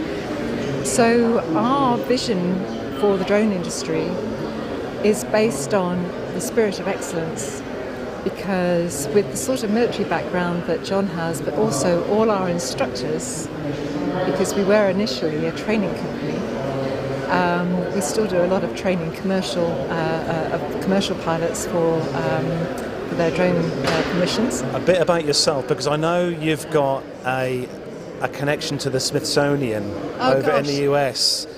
One of those places that I would love. I still need to visit. I need, need to get out there. You definitely now, have to. Now you've been there, but you've got a special uh, connection with the Smithsonian, haven't you? Uh, well, it was quite an honour to be um, uh, inducted into the uh, Women in Emerging, Emerging Aviation Technology Hall of Fame. That's quite a mouthful. Um, with Women in Drones um, at, at the Smithsonian. The ceremony was there. It was an amazing event, uh, and you know, just to just be able to take all of that in um, flying to Washington um, and uh, just meeting some amazing um, people along the way uh, who were just very excited just to see what everybody was doing. You know, I, I just think that a place like the Smith- Smithsonian and the aviation community generally speaking, we were talking about this earlier, um, it's, it's such a, an incredibly um, supportive environment. It doesn't matter what the background is of the person um, and how much flying experience you have. It's the very fact that you're interested that makes that connection happen. And um, yeah, I was thrilled to go there, and what a what a venue to you know to go and receive an award. Did you have to give a speech on stage? Actually, no. Some, they were they were talking about us when we were standing there in our, you know, evening gowns or, or whatever, uh, with this wonderful award. But uh, but yeah, the, the, the sort of recognition for the fact that a working in emerging tech is always a bit challenging. You're out there, you know, and uh, not everybody necessarily understands what you're doing. Um, so so it's pretty special, I have to say. Yeah. So, sort of rounding off really kind of your um, flying because you have done some. You've flown. Is it the the microlight or the light? Uh, Yeah, I. Uh, oh my gosh, I. I've been flying since I was quite young, in my late teens, and you know, I could I'd save up for a lesson, and then you, you don't get very far towards your PPL when you when you're doing that. But I just wanted to be in the air. You know, the RAF wouldn't have me because I was a girl. I was.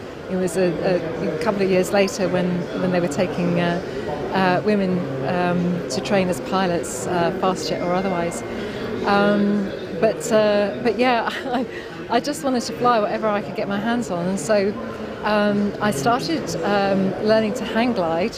I, I went to live in, in Canada, and you get inspired by people, don't you? So I've, I've done a lot of crazy things like um, traveling around the world by myself um, before you know cell phones were actually even invented, and so I'd been and I'd attempted to climb Kilimanjaro. I didn't get quite to the top. Um, I got to, um, uh, I, I, didn't get to summit. I got altitude sickness, which is sort of ironic, really. But um, but I went to an, an, air show, and there was a, a father and son who were um, hang glider instructors who made this amazing movie about climbing Kilimanjaro and flying down. And and I just looked at that and I thought, I want to do that. So I did. And it was a school that was um, next, pretty much next door to uh, Pearson International in Toronto. And um, yeah, it wasn't long before I decided, no, I, I, really need an engine. So I then found an instructor um, to teach me how to fly ultralight trikes. And it was in the course of that, um, um, I, I, had a few lessons with him. And then I met these fantastic people who had a share in a small grass strip in upstate New York. And so they invited me to go there.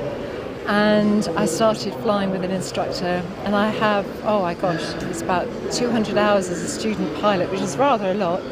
Um, but it was because I had access to um, uh, it was a, it was a Cessna 152, um, and I just had to put gas in it and fly. And I used to love practicing takeoffs and landings, and this pretty much going out and getting lost because in the US they have these amazing water towers with the names written on them. So even as you're learning to navigate, once you you know can fly, you're signed off to fly solo, of course. Um, you can go on some little adventures, and uh, I had such fun.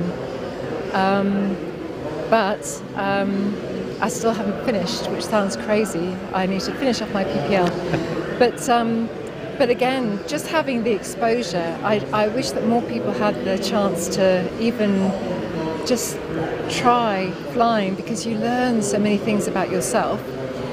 But you also meet so many amazing people. You know, it doesn't matter uh, whether you're flying a, you know, a, a, Piper Cub, which I would love to have a Piper Cub, or um, or an ultralight, or, or, or anything else. You know, the the experimental designation I think in the US is is. Um, I, th- I, think it brings a lot more people into aviation, uh, or makes it a bit more affordable perhaps as well.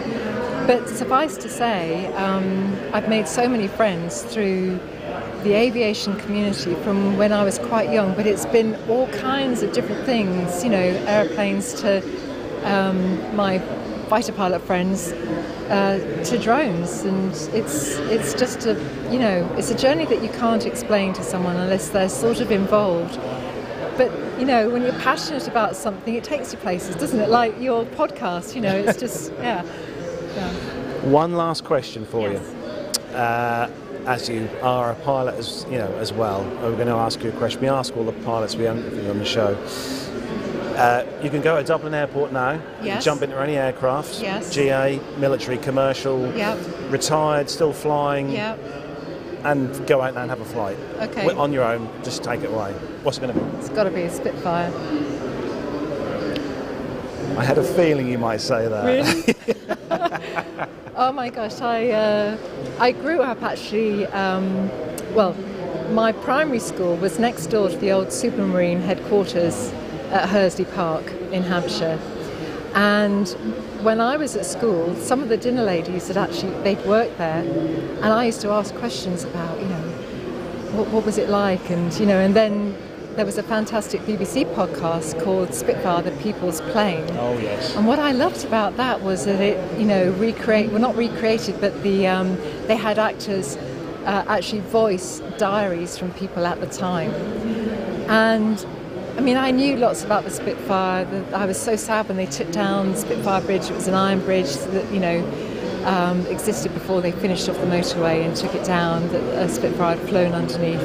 Um, and it's just so amazing. The ingenuity of people raising money to get more Spitfires built was one thing, but the fact that um, I feel like we're on a similar journey to get the Jackal into service as um, RJ Mitchell went through, and that sounds crazy, really, but we're so good at innovation, and um, Spitfire and the sound of those Merlins. engines, yeah, the Merlins, when you, th- when, it's unmistakable, but the story of it is is uh, is just amazing, and that, that was a particularly wonderful podcast. I have to, have to say, putting that story together, just so you can see what, what we are capable of. On that note, where can people find out more about uh, the, you know what the work you do? Um, they can, well, flybytechnology.com is uh, is our website where you'll find more about the Jackal.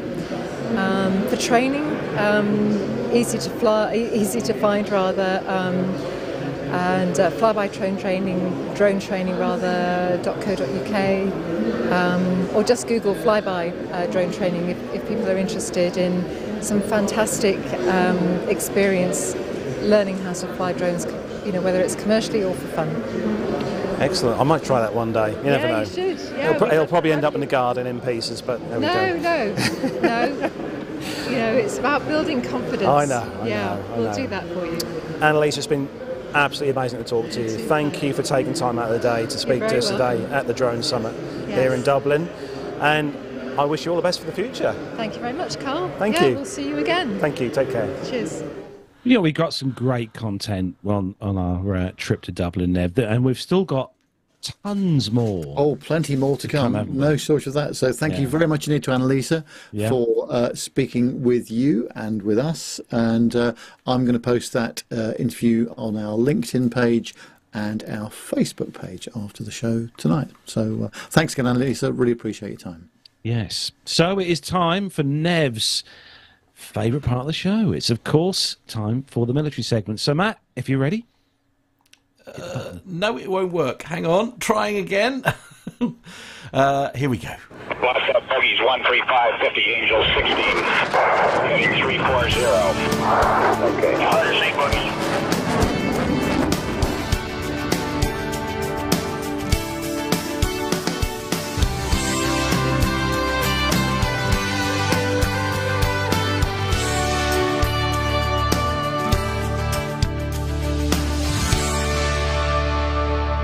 First, in this week's thrilling instalment of the military news uh, is from EDP24. It's local to me and Matt here in Suffolk in the UK.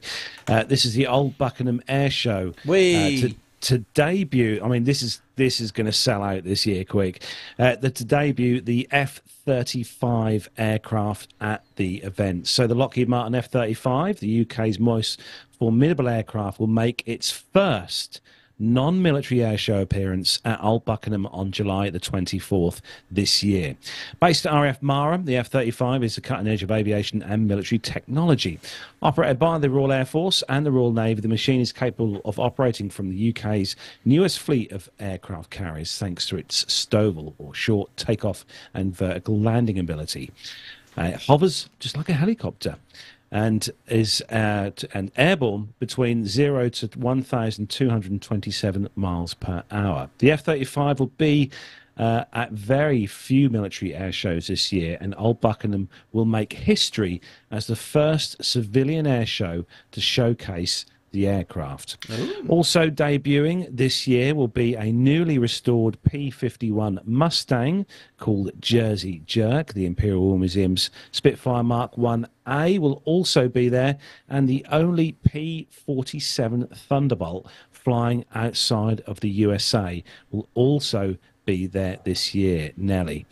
Wowing attendees with their displays will be crowd favourites like the Turbulent team and the only electric aircraft formation team in the world, the Nebo Air Electric Arrows. Matt Wal- uh, Wilkins, organiser of the Air Show. Oh, hello. What's going on? Okay, we're, we're, we're starting a segment again. Ticket sales for the air show. I think we should do a whole show just for playing intros. Ticket sales are already on their way above last year's record sellout time for this time of the year. The F 35 will only make the inevitable sellout even earlier this year for Old Buckenham. Uh, he also said, We're immensely grateful to all the uh, at the RAF and RAF Marham's brilliant team, and tickets uh, can be purchased at oldbuckenhamairshow.com. If you've not been, trust me, it is a sellout air show here. We are lucky to have it on our doorstep here. They have a phenomenal amount of aircraft uh, on display over the two days that they have the air show. Um, but yeah, if you've not been already and you are in mine and Matt's neck of the woods, uh, just check out the Old Buckenham Air Show. Well Mm. worth a visit. So, talking about autonomous drones, Matt, next one.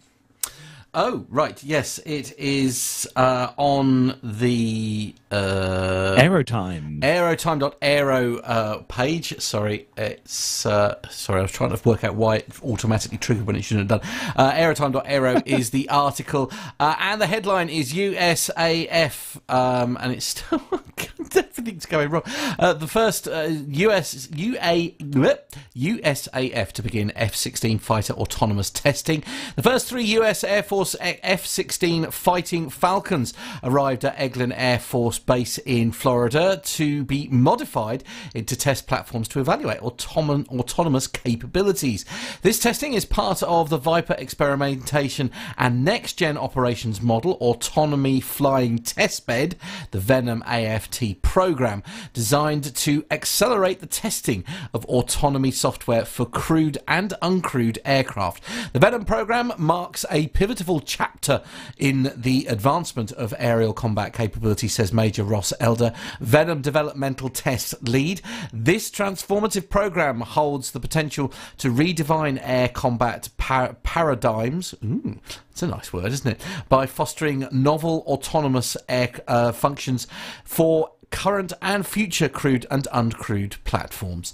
The uh, six F 16 fighters will eventually join the test campaign, which will be conducted by the 40th Flight Test Squadron and the 85th Test and Evaluation Squadron.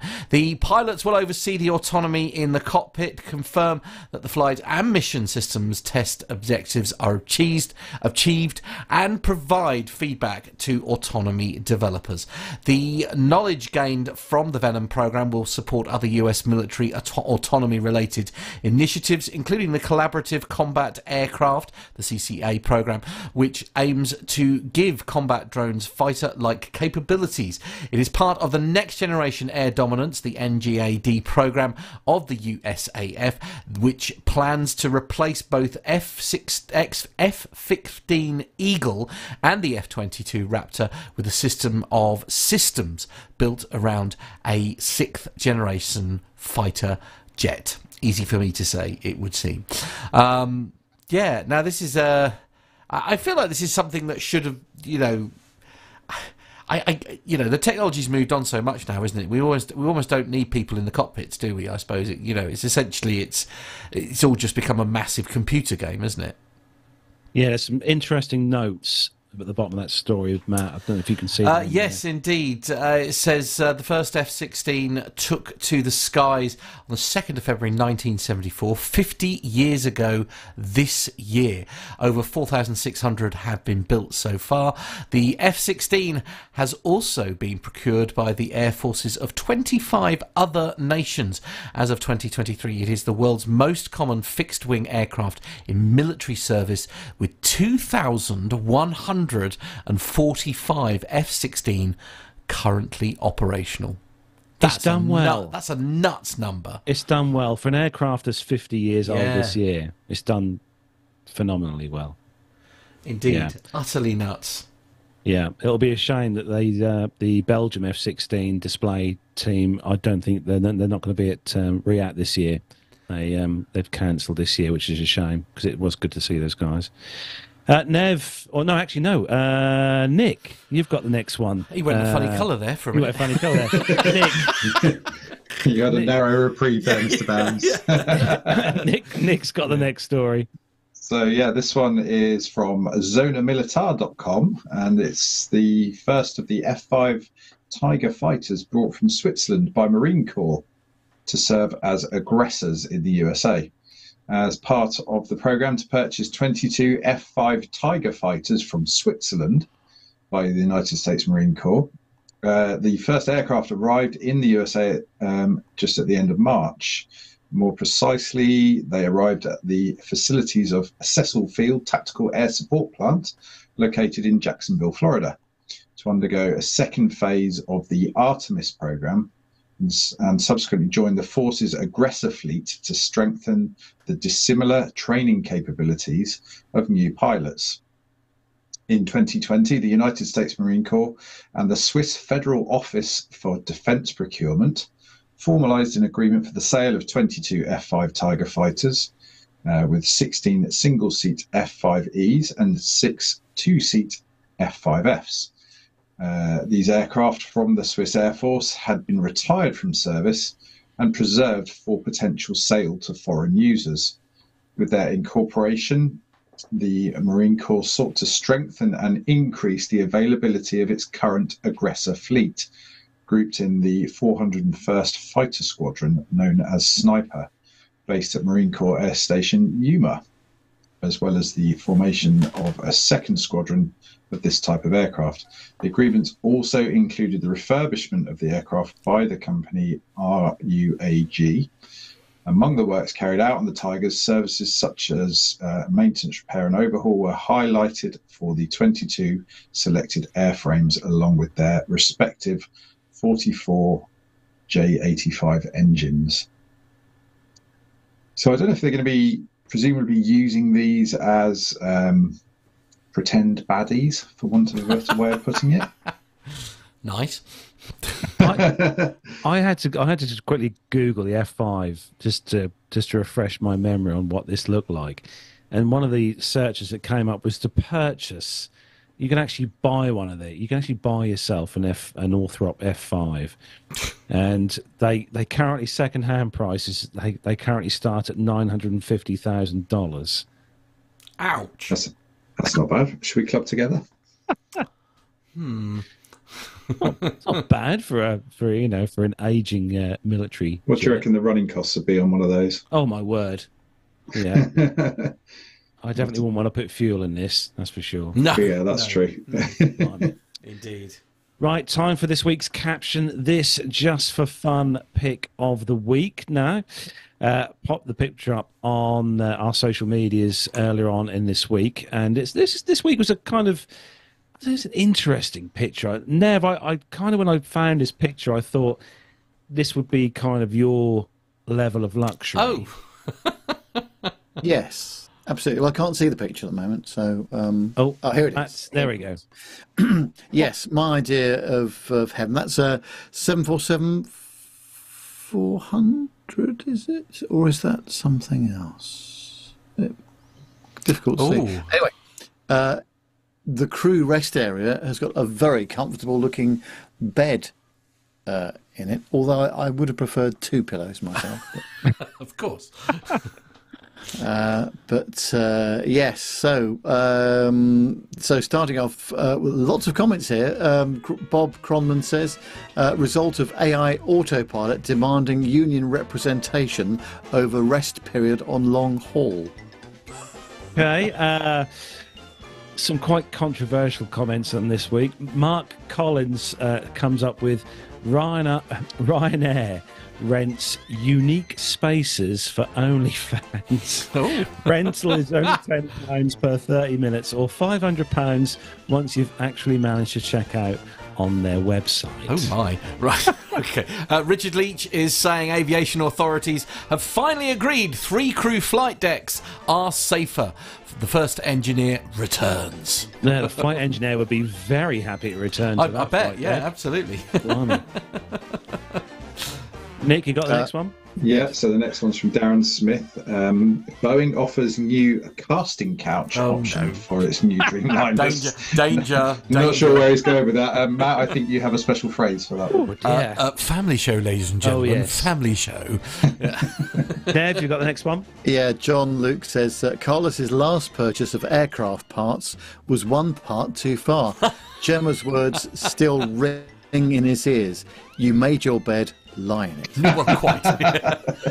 Oh, and Love I that. would. Yeah, I would. absolutely. Yeah.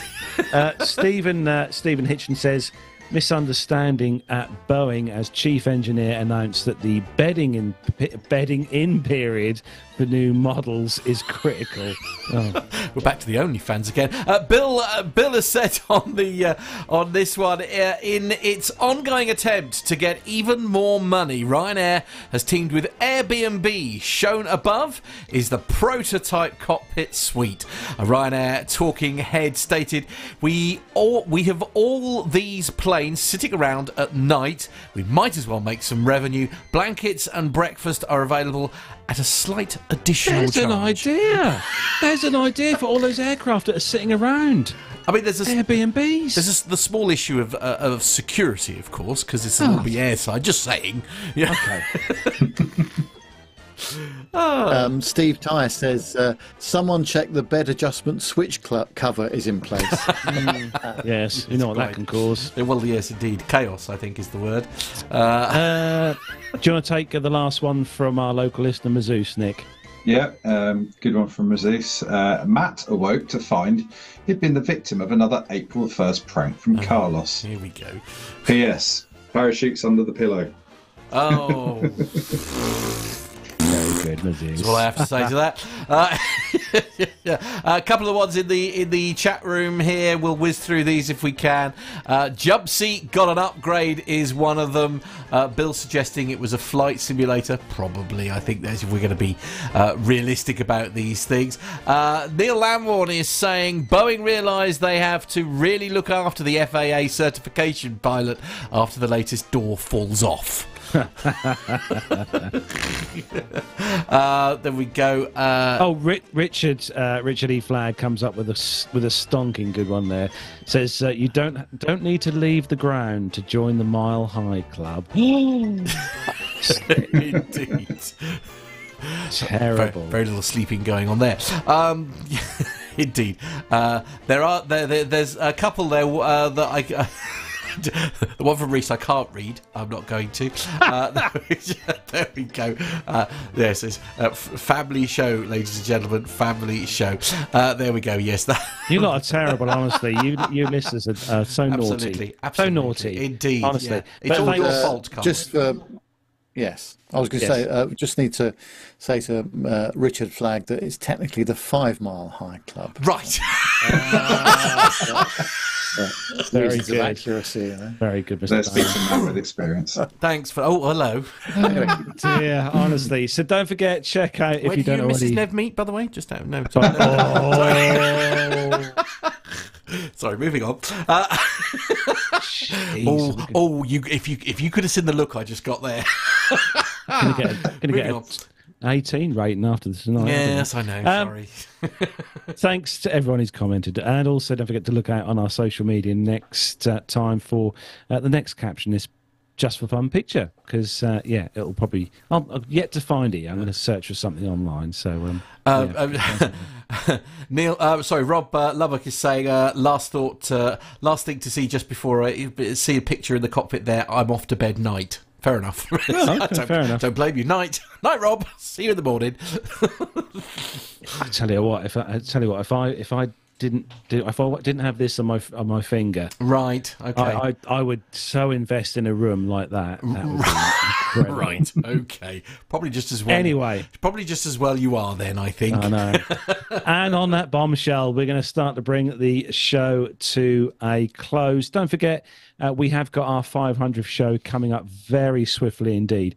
If you are one of our glorious listeners and you'd like to uh, send in some feedback for our 500th show, make sure you send it in. Some audio feedback would be really, really good if you could do that. That would be amazing.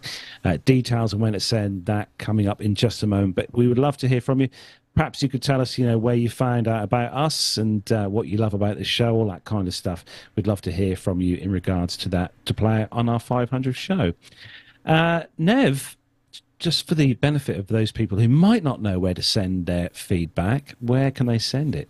Oh, yes, we can send feedback to podcast at planetalkinguk.com uh, or to our WhatsApp number, plus 44 757 224 9166. That's plus 44 757 224 9166. And we're all on the socials, of course, as well Facebook, Twitter, or Instagram, or LinkedIn. Just look for Plane Talking UK. And the website is www.planetalkinguk.com.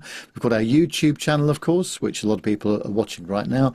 And you can uh, join us by uh, going to the chat room as well. Just go to uh, www.youtube.com and search for us at Plane Talking UK. Don't forget, we've got, uh, if you want to become a Patreon of the show uh, or by PayPal, you can donate some money to us uh, if you're able to. That is on our website. So, there's a link for that on the website.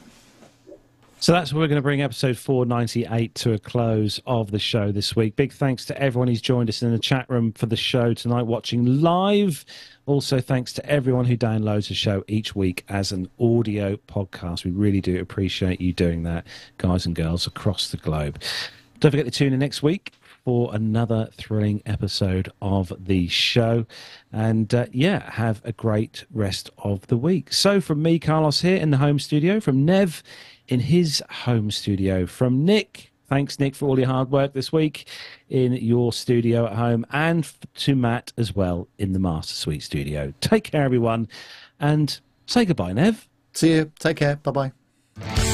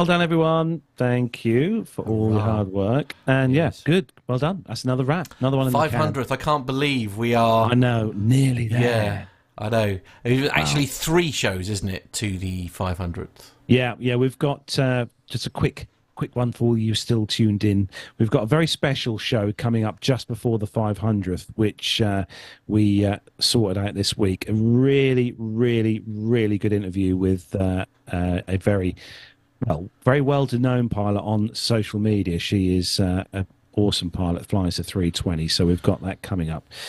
Um, just before the 500th, so make Mm. sure you're, uh, you're watching on the old YouTube. Looking forward to that. be on. Yeah, so that's uh, where we are going to go because uh, we're all tired. Nev is ready to nip off to his uh, queen size bed. Oh. And uh, I know he's pushing the boat How out. do you know? I know these things.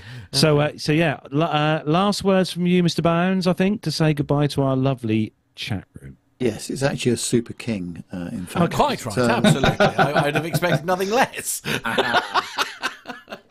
Well, thanks ever so much for joining everybody tonight. Really good to see everybody in the chat room again, and thank you for your fantastic contributions, especially for the caption competition. Really enjoyed that.